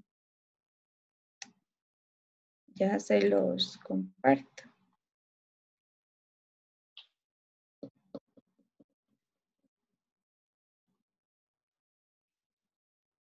Que, por ejemplo, este era un trabajo grupal que los estudiantes eh, tenían que entregar. Bueno, antes de esto yo lo que hice fue hacer en, en los participantes, eh, agruparlos. Em, eh, ya previamente ellos sabían quiénes estaban en sus grupos. Entonces, cuando ellos hacen, cuando yo programo una actividad que es grupal, entonces, inmediatamente ellos solo entregan eh, un trabajo, cualquiera de ellos puede entregarlo y, este, y ya se le asigna a todos los demás compañeros que están en ese grupo. Para la evaluación es igual, yo solamente, bueno, estos están, ya están calificados. Entonces, por ejemplo, aquí em, está, ya está eh, programada la rúbrica que yo voy a utilizar para lo que ellos van a entregar. Y entonces acá eh, yo nada más selecciono eh, cuál, es, cuál es el nivel de desempeño que tiene el trabajo de este grupo. Y aquí a la derecha yo puedo este, irles haciendo comentarios de, por ejemplo, de que si tienen un 4, que es el puntaje máximo, cuánto implica esto eh, con respecto a, este, a la asignación que se les dio en el trabajo. Igual, en la parte de abajo, este, yo puedo hacer comentarios de realimentación, eh, eh, digamos, en general, para poderles dar una realimentación más completa a los estudiantes, no solamente la calificación. Y ahí en lo que está mostrando Mari podemos ver la parte de seguimiento, ¿verdad? Es muy importante de mantener esa vinculación, que sea por ese medio o que sea un medio escrito, de que los estudiantes vean que estamos revisando el trabajo que ellos están haciendo eh, y darles como indicaciones claras eh, de lo que estamos revisando. Y si ustedes ven en esa rúbrica que Mari nos está enseñando, en la columna que se llama a la izquierda van a ser nuestros indicadores. O sea, qué es lo que yo como profe voy a revisarlos. Después están los niveles de la rúbrica, pero vean que entonces yo tengo aquí estaba el tema en criterios tema, eh, forma y formato y ortografía, etcétera. Entonces, el estudiante de, de antemano, porque eso ya estaba, sabe qué es lo que se le va a evaluar y eso es súper importante y más bajo estas circunstancias, porque una de las grandes, em, vamos a ver, inquietudes que tiene el estudiante es, eh, no sé qué se espera de mí, no sé si voy a, a rendir lo suficientemente bien. Sí, bueno, yo tengo el, yo hago una práctica con mi grupo de estudiantes que es que todas las semanas eh, inicio con una pregunta generadora, pero es totalmente abierta, o sea, de cómo se sienten, ¿verdad? Y la primera semana lo que hicimos fue una nube de palabras, donde la pregunta fue cómo me siento en una sola palabra.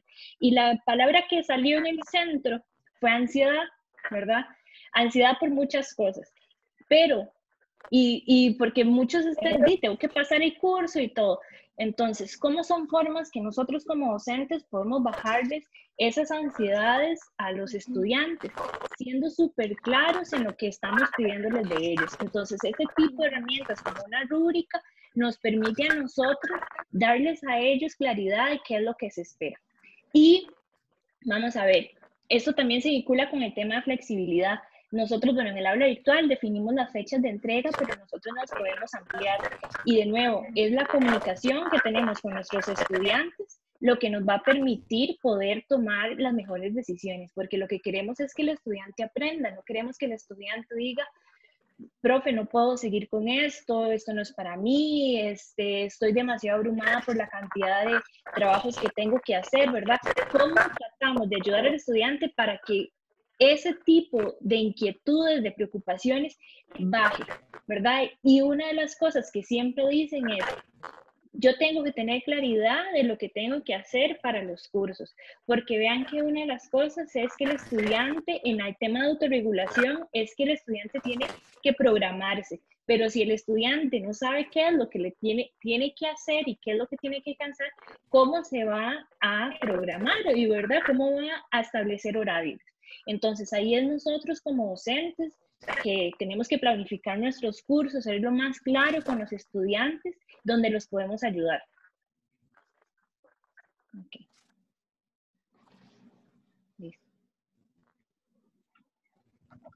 Ok. Bueno, vamos a continuar con algunas preguntas. Han ingresado algunas preguntas más en el tema de evaluación. Eh, y bueno, creo que tenemos que darles un poquito más eh, de énfasis también en el tema que han estado preguntando de cuestionarios y demás. Eh, y yo también por acá voy a, a, aprovechar para, para aportar a lo que vienen diciendo las compañeras, porque por acá nos ingresa una pregunta que dice, expliquen por favor un tipo de examen escrito, individual y no presencial, que no permita la copia y la elaboración de grupos. Entonces, yo le puedo decir de nuestra parte que eso está muy complicado, muy, muy complicado.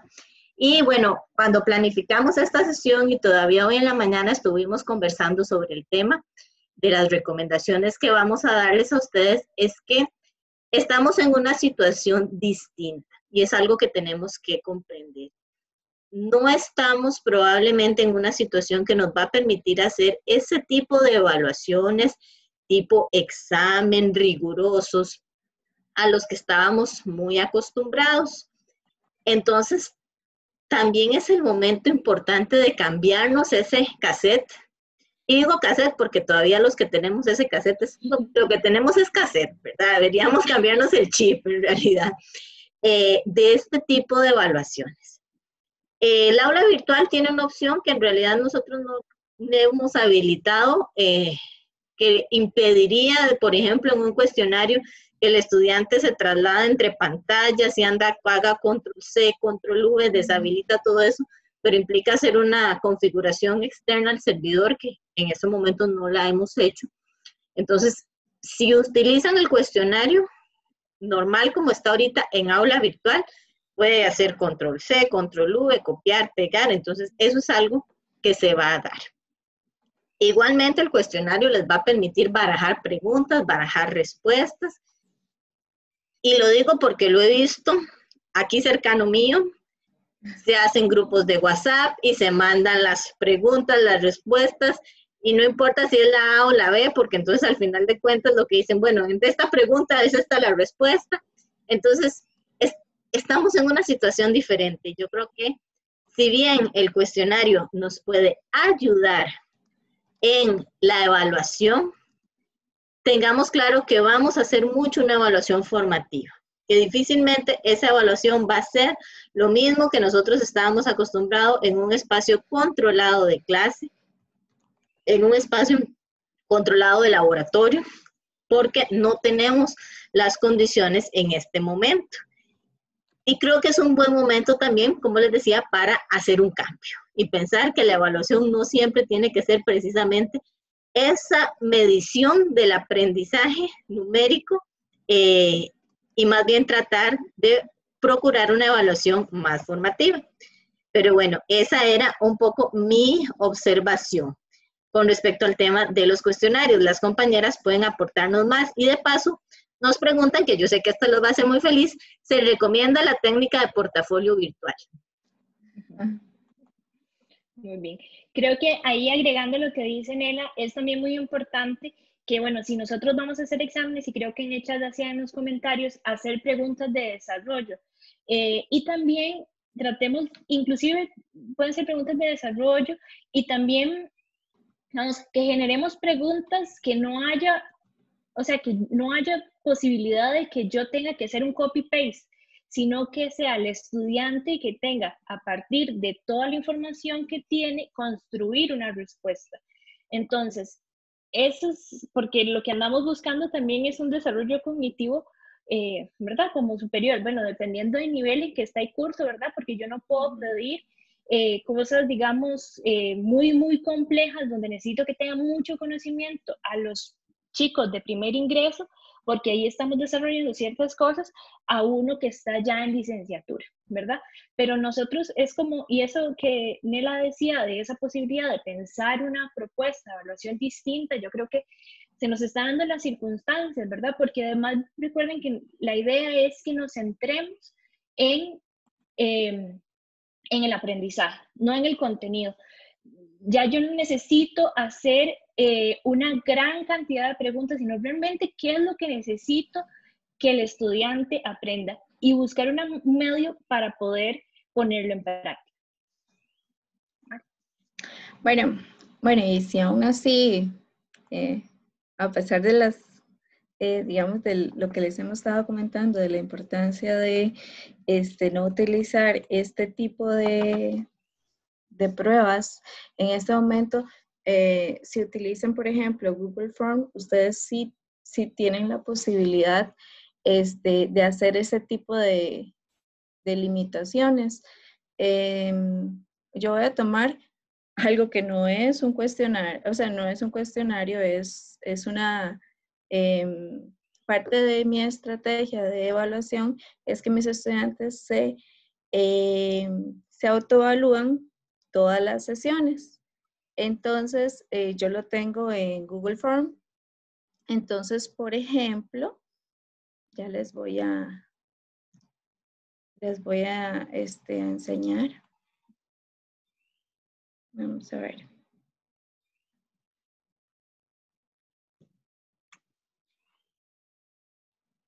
Bueno, vean, por ejemplo, este, si yo, si yo voy a la, a la configuración, yo esto lo podría pasar a lo que es, eh, a convertirlo en un cuestionario donde este, cada pregunta va a tener una asignación y va a tener respuestas correctas. Eh, y también puedo utilizar esta otra parte que se llama un modo bloqueado. En ese modo, ahora sí, no van a poder hacer eh, ni control X, ni van a poder abrir otras, este, otras ventanas para poder no sé, ver algún tipo de respuesta. Entonces, sí, digamos, sí tenemos este, posibilidades de hacer, inclusive se puede programar por, este, por la limitación de fecha este, y hora.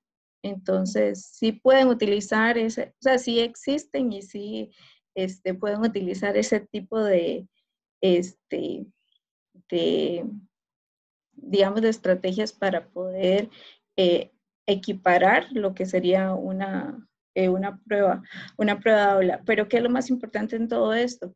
Lo que hablaba Marci, que, que las preguntas sean planteadas eh, de una forma en la cual realmente este, ustedes puedan ver que, que, existe un aprendizaje, o sea, que el estudiante aprendió, que el, que el estudiante inclusive pudo preparar esa respuesta eh, y, y, que tenga algún, algún significado para el mismo estudiante.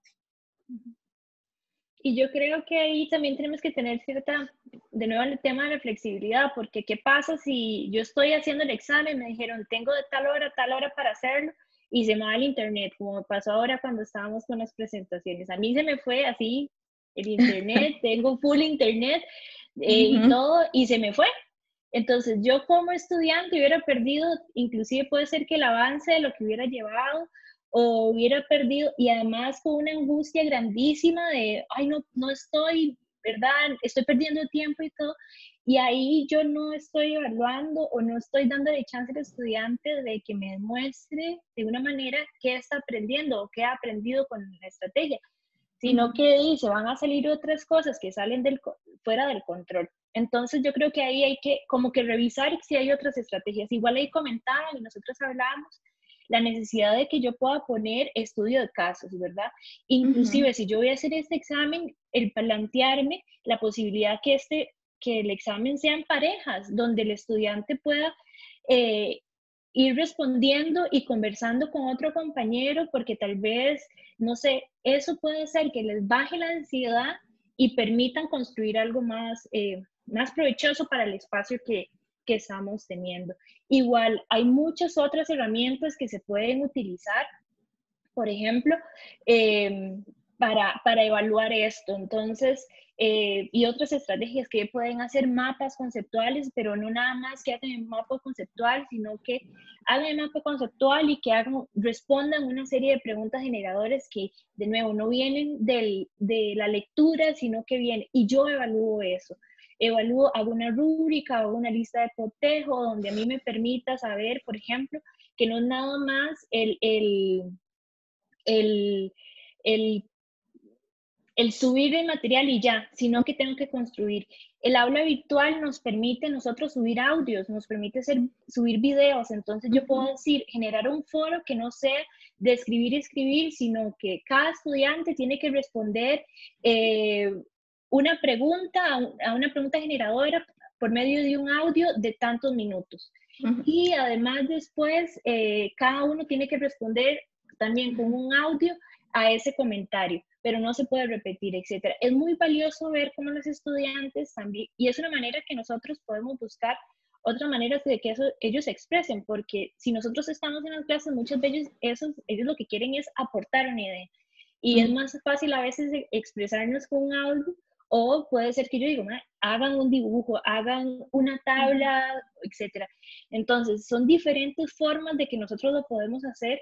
Hay herramientas un montón donde nos permiten también un poquito más de interactividad y nosotros ahí en esa estrategia que es también de mediación con los temas de los compañeros, evaluamos, definimos criterios claros de qué es lo que andamos esperando, cuáles son los tiempos. Si nosotros vamos a hacer un tipo de trabajo donde, por ejemplo, hay una primera intervención y después viene otra intervención, después, a partir de la construcción de algo que dijo un compañero, tiene que quedar muy claro, definidos hasta cuándo tiene tiempo de hacer esa primera comentario o construcción, ¿verdad? Porque yo como estudiante eh, también puedo decir que diga, porque a mí me ha pasado, dice, profe, es que no me gusta la actividad porque dependo de otros y no sé qué. Entonces uno dice, una flexibilidad para dar un tiempo para que el estudiante pueda hacer su primer aporte, construir y después ellos puedan eh, ir a hacer el otro comentario, ¿verdad? Entonces vean que es un poco, puede ser que nos tome un poco más de tiempo, pero si el estudiante tiene ya claras las instrucciones,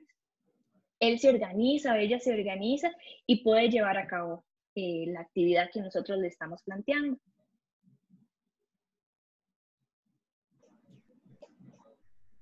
Bueno, muchas gracias las compañeras de evaluación.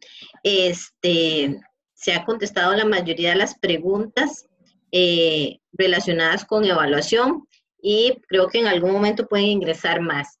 Y vamos con la parte de tecnologías, que en algunos casos también toca el tema de evaluación y de mediación. Entonces, eh, el compañero Rolando y mi persona vamos a apoyar en, contestar estas preguntas, pero igual los compañeros nos pueden apoyar o nos van a apoyar.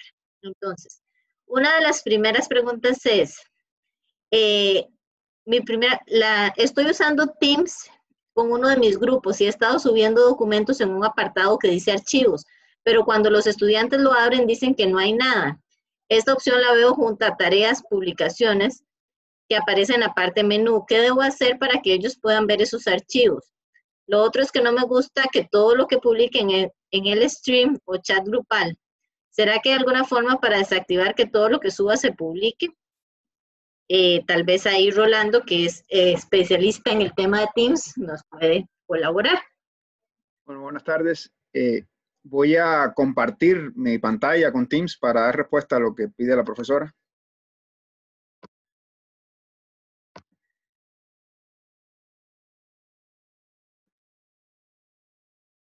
En este, en este ejemplo de Teams que estoy compartiendo en pantalla ahora, podemos ver este espacio que la profesora hace referencia de archivos. En archivos hay eh, dos, digamos, eh, dos espacios donde está materiales de clase, que materiales de clase es un espacio de solo lectura para los estudiantes. Y eh, el documento que subo ahí, todos lo pueden ver, pero ellos no pueden modificarlo. Y este otro espacio, si sube el documento acá, utilizando aquí la opción de cargar o inclusive si hace una publicación, voy a, regresarme en el espacio de publicaciones, acá, cuando va a hacer sus intervenciones, cuando escribe acá, puede anexar un documento. El documento que anexe acá en publicaciones, pues va a aparecer, además de estar aquí en este, en este tipo foro, que es publicaciones, además de estar en este foro, va a aparecer aquí en archivos y en este mismo espacio que eh, sí pueden editar los estudiantes. No digo que sea lo que ocurrió con esos estudiantes, pero pudiera ser que sin querer algún estudiante puede borrar aquí un documento que el profesor compartió y pudiera ser la causa que no aparezca en algún momento. Entre otras cosas, había otra pregunta relacionada también con colaboración.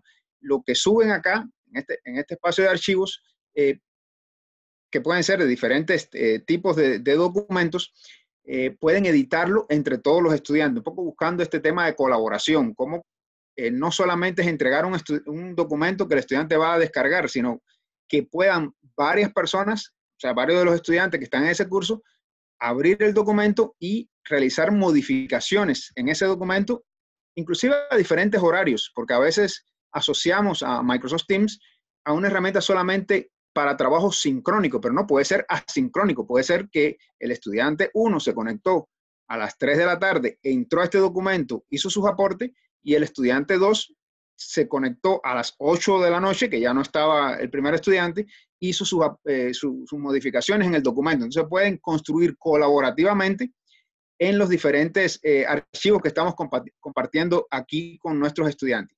Otra eh, tercera opción, además de esta que hemos visto, es que acá donde está el signo de más, se pueden también adicionar como tabs ahí de, este espacio diferentes eh, documentos con cualquiera de estas herramientas que aparecen acá. Algunas son de, Microsoft y otras de, terceros, eh, los cuales pudiéramos adicionar para también hacer trabajo colaborativo. Repito, son ejemplos de cómo podemos hacer trabajo colaborativo. Podemos ahí adicionar una presentación en PowerPoint, eh, que la podemos seleccionar de lo que tenemos en nuestro espacio, o en alguna de los otros formatos que hay acá. Puede ser también un Excel, un documento Word que eh, queremos eh, generar para eh, poder compartir con los estudiantes. Y, una característica que quiero decir acá es que en muchos casos el estudiante no tiene ni, que tener instalado el software en su, en su computadora. Si vemos aquí donde dice nuevo, yo puedo dar aquí nuevo documento Word. Voy a ponerle aquí ejemplo 1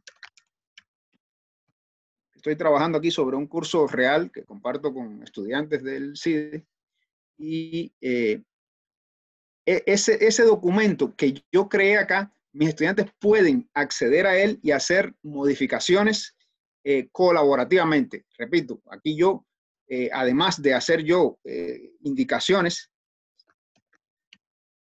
en el documento, pues ellos pueden conectarse y colaborativamente ya sea sincrónica o no, podemos eh, hacer modificaciones sobre esta, este espacio en el cual, eh, repito, lo estamos haciendo desde eh, desde nuestro Teams. O sea, en este caso, la, la, herramienta Microsoft Teams nos permite compartir archivos con nuestros estudiantes, trabajar colaborativamente con ellos y ellos poder también conectarse en diferentes momentos para modificar esta herramienta. Vemos tres posibilidades en las que podemos compartir estos documentos con nuestros estudiantes para que ellos puedan modificarlo. Regreso a la siguiente pregunta, Nela. Gracias.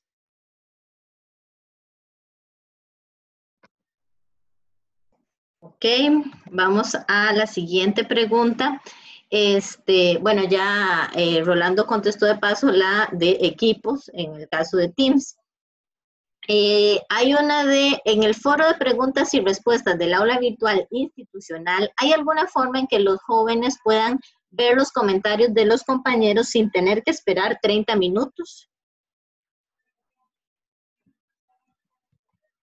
Bueno, eh, e, eso es algo que se puede configurar, o sea, nuestra plataforma, la, versión de Moodle que nosotros tenemos para la Universidad Nacional eh, está, digamos, administrada por, nuestro equipo y eh, se pueden configurar los tiempos de respuesta, inclusive esto, este espacio que hace referencia a los 30 minutos que, es más bien la posibilidad que le da al que hace una intervención para poderla modificar. O sea, cuando alguien hizo un comentario, que puede hacer modificaciones a ese comentario antes que, que sea publicado. Son parámetros que pudieran eh, ajustarse a diferentes tiempos. Para esto, bueno, pudiera, eh, si alguien tiene una necesidad, puede dirigirnos un correo a, nuestra cuenta en la que atendemos este tipo de, solicitudes, que es ticdocencia, arroba una serie, y bueno, analizaríamos ahí un poco la, la justificación de esa solicitud y podríamos ver si técnicamente pues, podemos hacerle esa modificación para la, persona que lo solicita. Gracias. Yo ahí quisiera añadirle este, que eso tiene una lógica. Los 30 minutos en ese momento tendrían una lógica eh, para el foro de preguntas y respuestas. La idea del foro de preguntas y respuestas del aula virtual es que el estudiante no vea las respuestas de sus compañeros antes que eh, los, antes de hacer su primer aporte. Entonces, el ejemplo que yo suelo poner en estos casos con, preguntas y respuestas es, eh, imaginemos que utilizamos el foro para colocarles una pregunta de, este, de un, un ejercicio de comprensión de lectura. Digamos que les pusimos a hacer una comprensión de lectura y que nos hagan sus aportes a la lectura X. Pero resulta que está el estudiante que no quiso hacer la lectura y se mete al foro a ver las respuestas de los compañeros y de ahí infiere más o menos de qué trata la, lectura y hace su aporte al foro de esa forma. En el caso de preguntas y respuestas, este, el estudiante, hasta que no haga su aporte, no puede ver los aportes de los demás compañeros. Si le damos mucho menos tiempo de los 30 minutos, el estudiante podría entrar, poner un aporte este, malillo y después modificar esa respuesta cuando le salen las preguntas de los compañeros. Entonces, por eso es recomendable que los 30 minutos se mantengan. Y también para darle espacio a la persona de que si realizó algo, tuvo algún error, pueda modificar su espacio. Ok, vamos a continuar con las preguntas.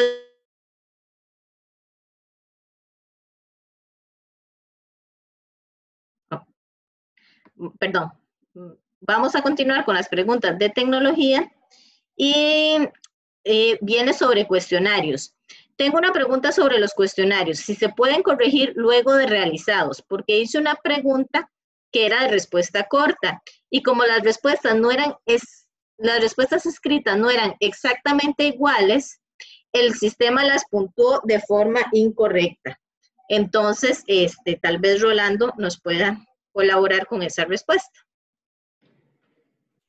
Sí, de, nuevo, eh, eh, Moodle tiene la característica que se puede configurar en diferentes escenarios. Eh, por lo que usted describe, o sea, uno de los escenarios posibles, que es el que estamos utilizando en estos momentos, eh, una vez que está iniciado, empiezan a responder un cuestionario, no permite hacer modificaciones. Un poco siguiendo la lógica de que eh, no cambiamos las reglas una vez que ya algunos estudiantes han sido evaluados. Entonces, digamos que en el caso que usted está solicitando, no, no es posible en este momento que ya después que usted habilitó el cuestionario, empezaron a responder algunos alumnos, a hacerle cambios a ese cuestionario eh, que, que, involucraría, digamos, una un, recalcular eh, las respuestas que ya algunos estudiantes han eh, enviado. Gracias. Pero este, también, digamos, en el caso de este cuestionario, usted podría hacer una calificación manual. Si el sistema ya le calificó de forma, digamos que incorrecta, porque los estudiantes respondieron bien, pero eh, el, sistema se las calificó mal, usted puede eh, activar la opción de hacer una calificación manual de esas preguntas y asignarle usted el puntaje que usted considera indicado.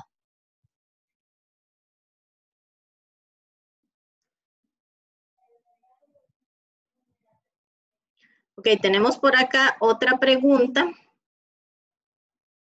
Otra pregunta, eh, esta pregunta nos ingresó por el, correo de consultas y un poco ya también eh, Marcela y María Angelina la, la, contestaron. Decía, espero que estén bien. Eh, ¿Qué pasa si uno envía un examen por Google Forms y cuando el estudiante lo está realizando se cae el sistema?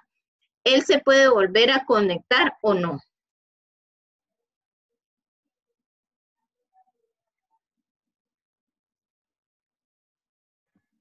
Sí, bueno, como mismo en algunos ejemplos que puso eh, María Angelina, eh, algunos de estas, de estas plataformas de Google Forms eh, permiten, o sea, si en el caso que hay una desconexión, el estudiante puede, bueno, depende cómo haya sido configurada, si se puede nosotros cuando creamos este cuestionario en Google Form pudiéramos configurarlo, como mostró María Angelina en la imagen, eh, que permita que puede ese estudiante volver a ingresar en ese documento, lo que permitiría que él pueda continuar lo que venía realizando. Lo que sucede, y, teniendo un poco la experiencia práctica de lo que nos está pasando en estos momentos de sobrecarga de, en estos sistemas, es que pudiera ser que alguna de las respuestas que ya había dado sea, puedan haber grabado o no entonces, eso sí sería que habría que analizar puntualmente porque pudiera ser que el estudiante no, no logra recuperar todo lo que había hecho, entonces tenga que, por ejemplo, volver a hacer el cuestionario desde el inicio. Gracias.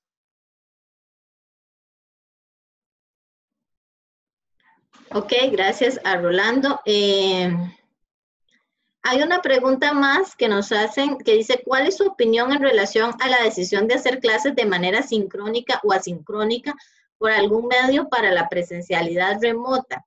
Eh, yo creo que en esta, eh, creo que podemos tener la intervención de varios compañeros, ahí los que quieran colaborar. Yo sí le diría, creo que fue Enrique el que hizo la pregunta, este, esto depende mucho de su planificación como docente, de la planificación eh, que hizo para esta situación de emergencia, pero además tiene mucho que ver con las condiciones que el instrumento de condición de conectividad de los estudiantes le indiquen, ok, si yo tengo un grupo que tengo un porcentaje alto de estudiantes con problemas de conectividad o con problemas de acceso a dispositivos tecnológicos, debería considerar mm, con mayor eh, fuerza las clases asincrónicas. Si dentro de mis estudiantes muy pocos o ninguno manifiestan problemas, las clases sincrónicas pueden ser una opción viable, sin que sean la única opción, porque es importante también que hagamos eh, equilibrios en este sentido, ¿verdad? Que podamos tener tanto clases sincrónicas como clases asincrónicas. Y les dejo la palabra a algunos de mis compañeros que me quieran apoyar en este tema. Sí, eh, complementando lo que decía Anela, es importante, eh, recuerden primeramente tener claro cuál es el objetivo de aprendizaje que yo tengo.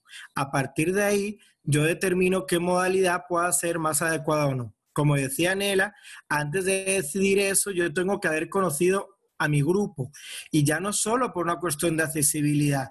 Eh, el otro día, por ejemplo, estaba hablando con una amiga que da clases en otra universidad y ella no puede, ella no puede tener en la mañana la, la, computadora porque el esposo tiene teletrabajo. Entonces, si le ponemos una sesión sincrónica a la una y media de la tarde, no va a tener el medio tecnológico para hacerlo. Inclusive hay estudiantes que tienen una conectividad muy baja y que la única manera de poder ingresar a, a una aula virtual, a cualquier tipo de actividad sincrónica, por ejemplo, es en la pura madrugada, que es cuando la, señal de internet puede estar más, eh, más fuerte. Entonces, eh, yo lo que creo es que es importante conocer al grupo. Una vez que conozco al grupo y si sé que, que tienen la accesibilidad en ese sentido, tomar la decisión de acuerdo a mi objetivo de aprendizaje, que quiero que mis estudiantes aprendan, y a partir de ahí, pero siempre hay que variar. Es ideal trabajar. Recuerden que lo sincrónico nos da la oportunidad de poder, por ejemplo, Zoom nos da la oportunidad de poder acercar la virtualidad eh, a, la gente, es decir, yo poder a través de la cámara ver a mi compañero, a mi, estudiante, que el estudiante pueda ver al docente. Pero lo asincrónico me permite también favorecer los procesos de aprender a aprender, a favorecer el aprendizaje autorregulado, me permite otra serie de cosas. Entonces, ¿cuál es la recomendación que hacemos desde la vicerrectoría? Bueno, pues utilizar ambas siempre y cuando el contexto del grupo así lo permita.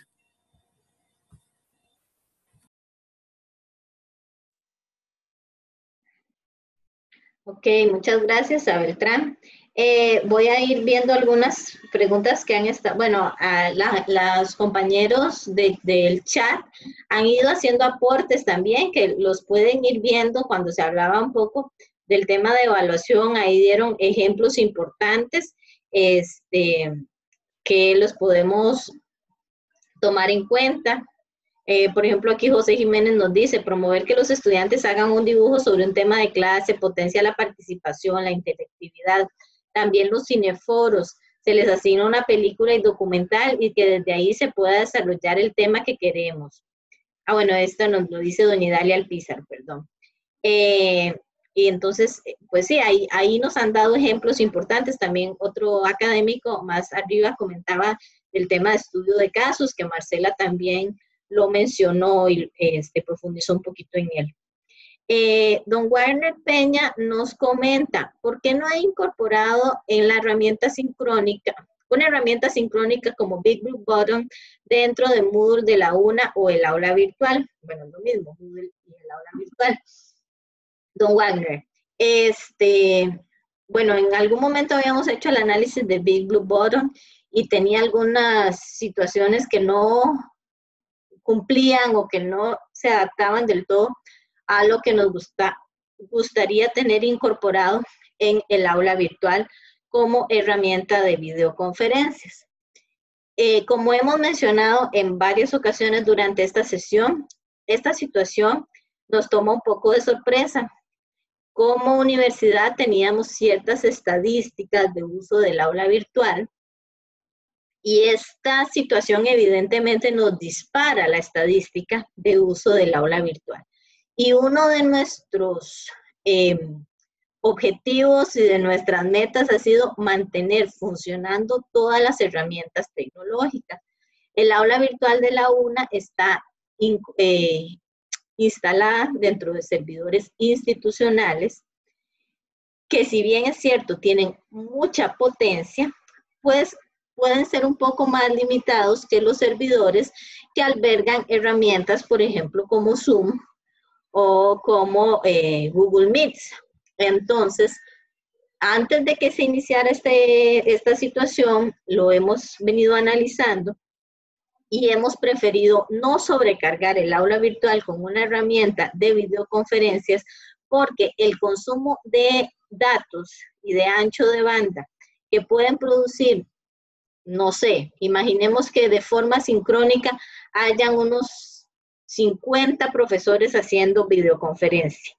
Eh, le puedo decir que en estos momentos hay más de 2.600 cursos activos en aula virtual. Entonces, imaginemos que un número bajísimo sean 50 profesores haciendo videoconferencias de forma concurrente en el aula virtual. Eso nos podría ralentizar el aula virtual y en el peor de los casos hacer que eh, pues tengamos que salga de línea por un momento por la cantidad de consumo de ancho de banda. Entonces, por eso la universidad ha puesto al servicio otra serie de herramientas como Zoom, como Meet o como Teams para eh, dar solución a este tema. Vamos a ver. Eh, Enrique nos pregunta, ¿tienen una entrevista diagnóstica para conocer su accesibilidad digital? Sí, don Enrique, se hizo una evaluación este, y se les envió por correo electrónico a todos los docentes, tienen que tener los resultados. Eh, creo que Marcela tiene más claro este tema de dónde pueden ubicar esos resultados, si Marcela nos colabora.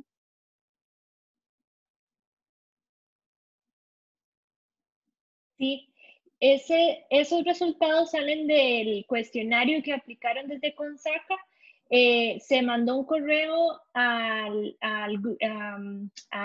grupo de correos de docentes.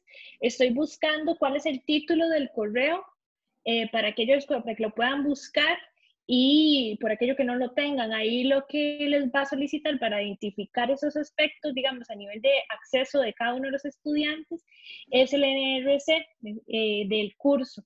Entonces, ese es como el código filtro que se utiliza para, la, para poder identificar el dato de curso de, que tengamos a cargo. Entonces, ya les paso el, el, el enlace. Okay, eh, eh, para, para completar lo que consulta Enrique, este, vamos a ver, em, sí, creo que va a depender de la clase que usted haya planeado. Así usted puede consultar eh, qué tanta capacidad puedan tener los estudiantes con respecto a la velocidad de Internet. Entonces, por ejemplo, eh, si usted, usted podría hacer un cuestionario en Google o en la herramienta que usted utilice para comunicarse con ellos, para saber, por ejemplo, cuáles son, eh, o sea, para, para saber, digamos, en en qué momento o cuál es el momento para que tienen más o menos internet. A partir de eso usted planifica si sus clases son sincrónicas o asincrónicas. Este, y eso es tan fácil como, como mandarles, por ejemplo, un medidor eh, del internet para saberlo. Y listo. O sea, no necesita una, una entrevista exhaustiva para conocer este, lo que realmente este, necesitan los estudiantes eh, a, este nivel técnico sobre todo. Con solo que digiten en el navegador medidor Colby, eh, pueden yo tener... no quería hacerle propaganda. Sí, Entonces, pero, ha sido buena gente, ha sido buena gente.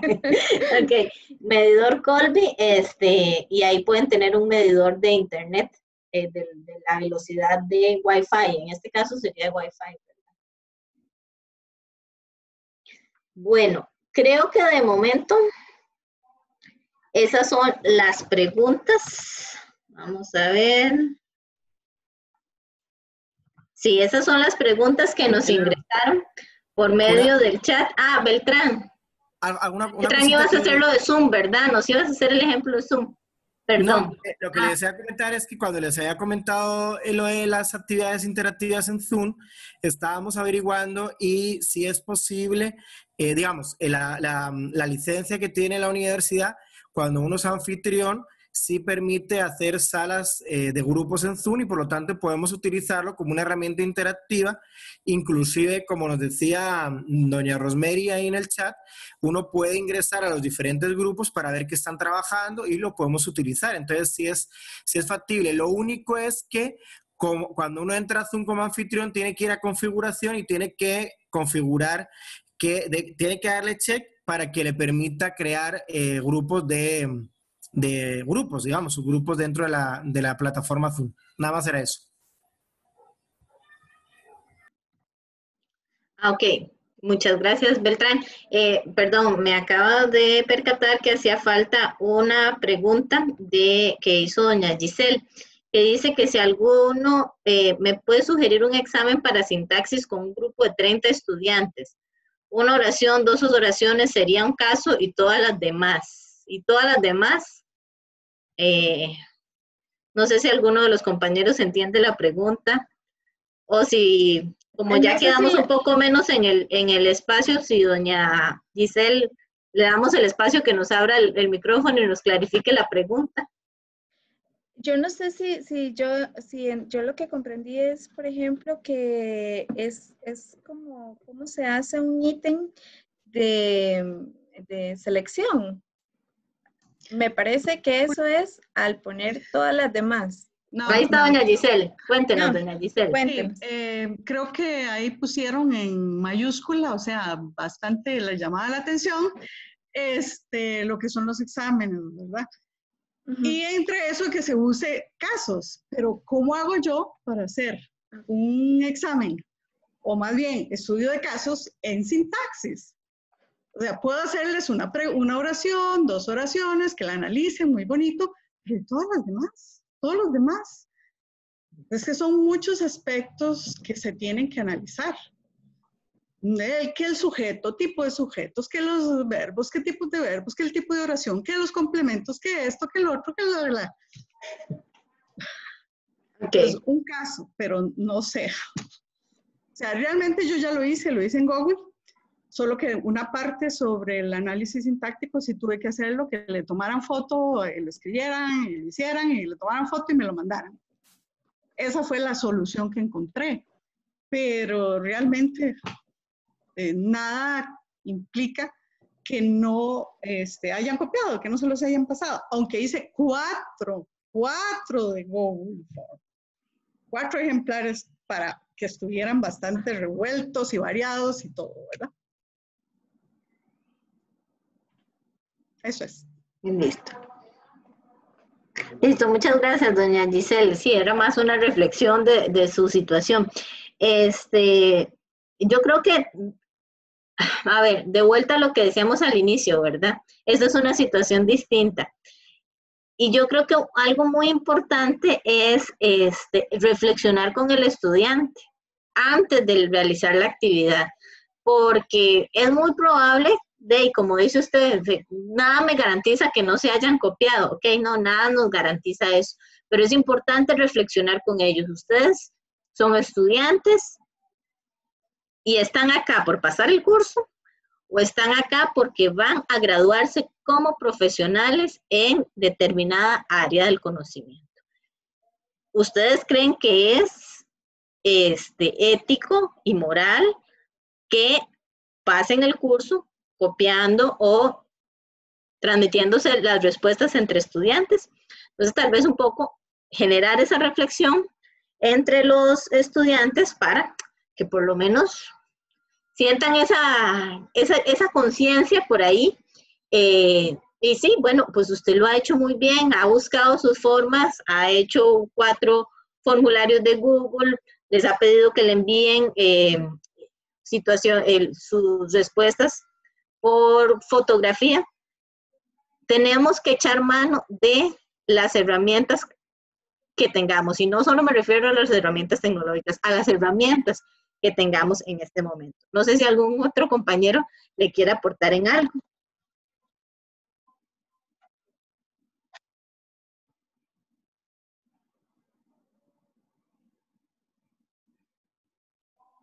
Ok, vamos a ver por acá. Alguien nos dice, es importante tener presente que cuando se tiene en el aula estudiantes con discapacidad auditiva, el docente debe hablar mucho más lento para que éste le dé seguimiento. Sí, eh, tenemos que ser muy considerados con el tema de los estudiantes con discapacidad auditiva. En el espacio de autoaprendizaje que les mostré al principio, también hay una guía que desarrollamos ahí en la parte de mediación pedagógica. Hay una guía que desarrollamos para, en el caso que tengan estudiantes con discapacidad visual. Bueno, este, vamos a ir haciendo el cierre de esta sesión eh, de manera personal y en nombre de la Unidad de Evaluación, Mejoramiento e Integración Tecnológica en la Docencia, de la Vicerrectoría de Docencia. Yo les quiero dar las gracias a los que han participado de esta sesión. En realidad sus preguntas han sido súper enriquecedoras creo que tanto para los otros compañeros como para nosotros mismos, este, nos dan insumos de por dónde debemos seguir trabajando en procesos de apoyo para el personal docente, para que completemos este ciclo, eh, para afrontar lo que venga eh, durante el año. Yo quiero felicitarlos a todos y todas ustedes porque yo sé que esta situación no ha sido sencilla, porque yo sé que nos ha tocado desaprender, reaprender, que nos ha tocado adaptarnos a una situación de cambio muy fuerte y en, un tiempo muy rápido. Eh, pedirles que reconozcan mucho a sus estudiantes, que los motiven mucho, porque ellos están pasando también, no por un curso, sino por cuatro, cinco, cinco cursos, este, que les den mucha, mucha motivación y este, pues darles las gracias. Les doy un segundo a cada uno de mis compañeros, no, no, un segundo, para que eh, se despidan de cada uno de ustedes. Empezamos por Beltrán.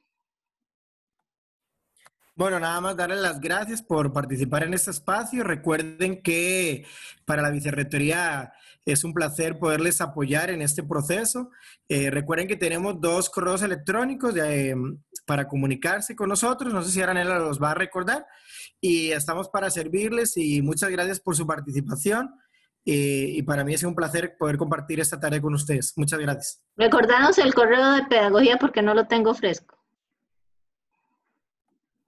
Ah, ok. El correo de pedagogía es apoyo pedagógico arroba una punto ahí todas las consultas que tengan que ver con mediación pedagógica y evaluación para los aprendizajes, las vamos a resolver a través de ese, de ese correo.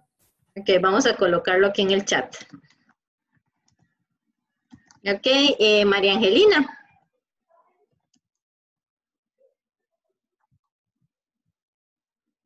Bueno, de mi parte, muchísimas gracias. Este, yo sé que hay consultas que son, sobre todo en evaluación, que son muy específicas, em, pero igual eh, ahí les dejamos eh, los, los, correos para que ustedes puedan eh, realizar esas consultas. yo sé que algunas personas han enviado consultas a nuestros correos personales y hemos tratado de contestar la mayoría de estas y las que no hemos podido, les agradecemos mucho que las reenvíen a este, a este correo para que sea más fácil eh, poder responder. Y gracias a todas y a todos. Gracias, Mari. Marcela. Listo, bueno, yo creo que solo queda dar las gracias. Yo creo que gracias más bien por ingresar a, la sesión, darse la oportunidad también de plantear las preguntas. Eh, no es algo sencillo para, para todos. Eh, yo creo que aquí es aprender, ¿verdad? De, todos, aquí vamos aprendiendo, ayudándonos y, ser receptivos de lo que está pasando, ¿verdad? Entonces, eh, esperamos que les haya sido bastante provechoso, para nosotros fue bastante provechoso y quedamos al tanto de cualquier duda que ustedes tengan. Y Rolando. Bueno, eh, muchas gracias a todos los participantes. Siempre aprendemos juntos en actividades como esta. Y bueno, también como la dirección de correo TIC, TIC Docencia, o sea, TIC Docencia arroba una CR, está a la disposición de todos para cualquier consulta que tengan en el tema de tecnologías para la docencia. Pues es un placer para nuestro equipo poder ayudarles en, en las dudas que podamos aclarar. Muchas gracias. Bueno, muchas gracias a los compañeros. Recordarles que la sesión se va a subir al YouTube de la Vicerrectoría de Docencia. Ahí tenemos también todos los webinars que hemos impartido en temas de tecnologías. Hay webinars de aula virtual, de eh, Microsoft Teams y, algunos de reflexiones eh, pedagógicas de incorporación de la tecnología. Entonces, ahí hay una lista de reproducción que, eh, que es de seminarios y ahí pueden encontrar todos los seminarios. Ahí vamos a colocar esta grabación a partir de eh, una hora más o menos que la podamos subir. Les damos las gracias a todos y que tengan una feliz tarde.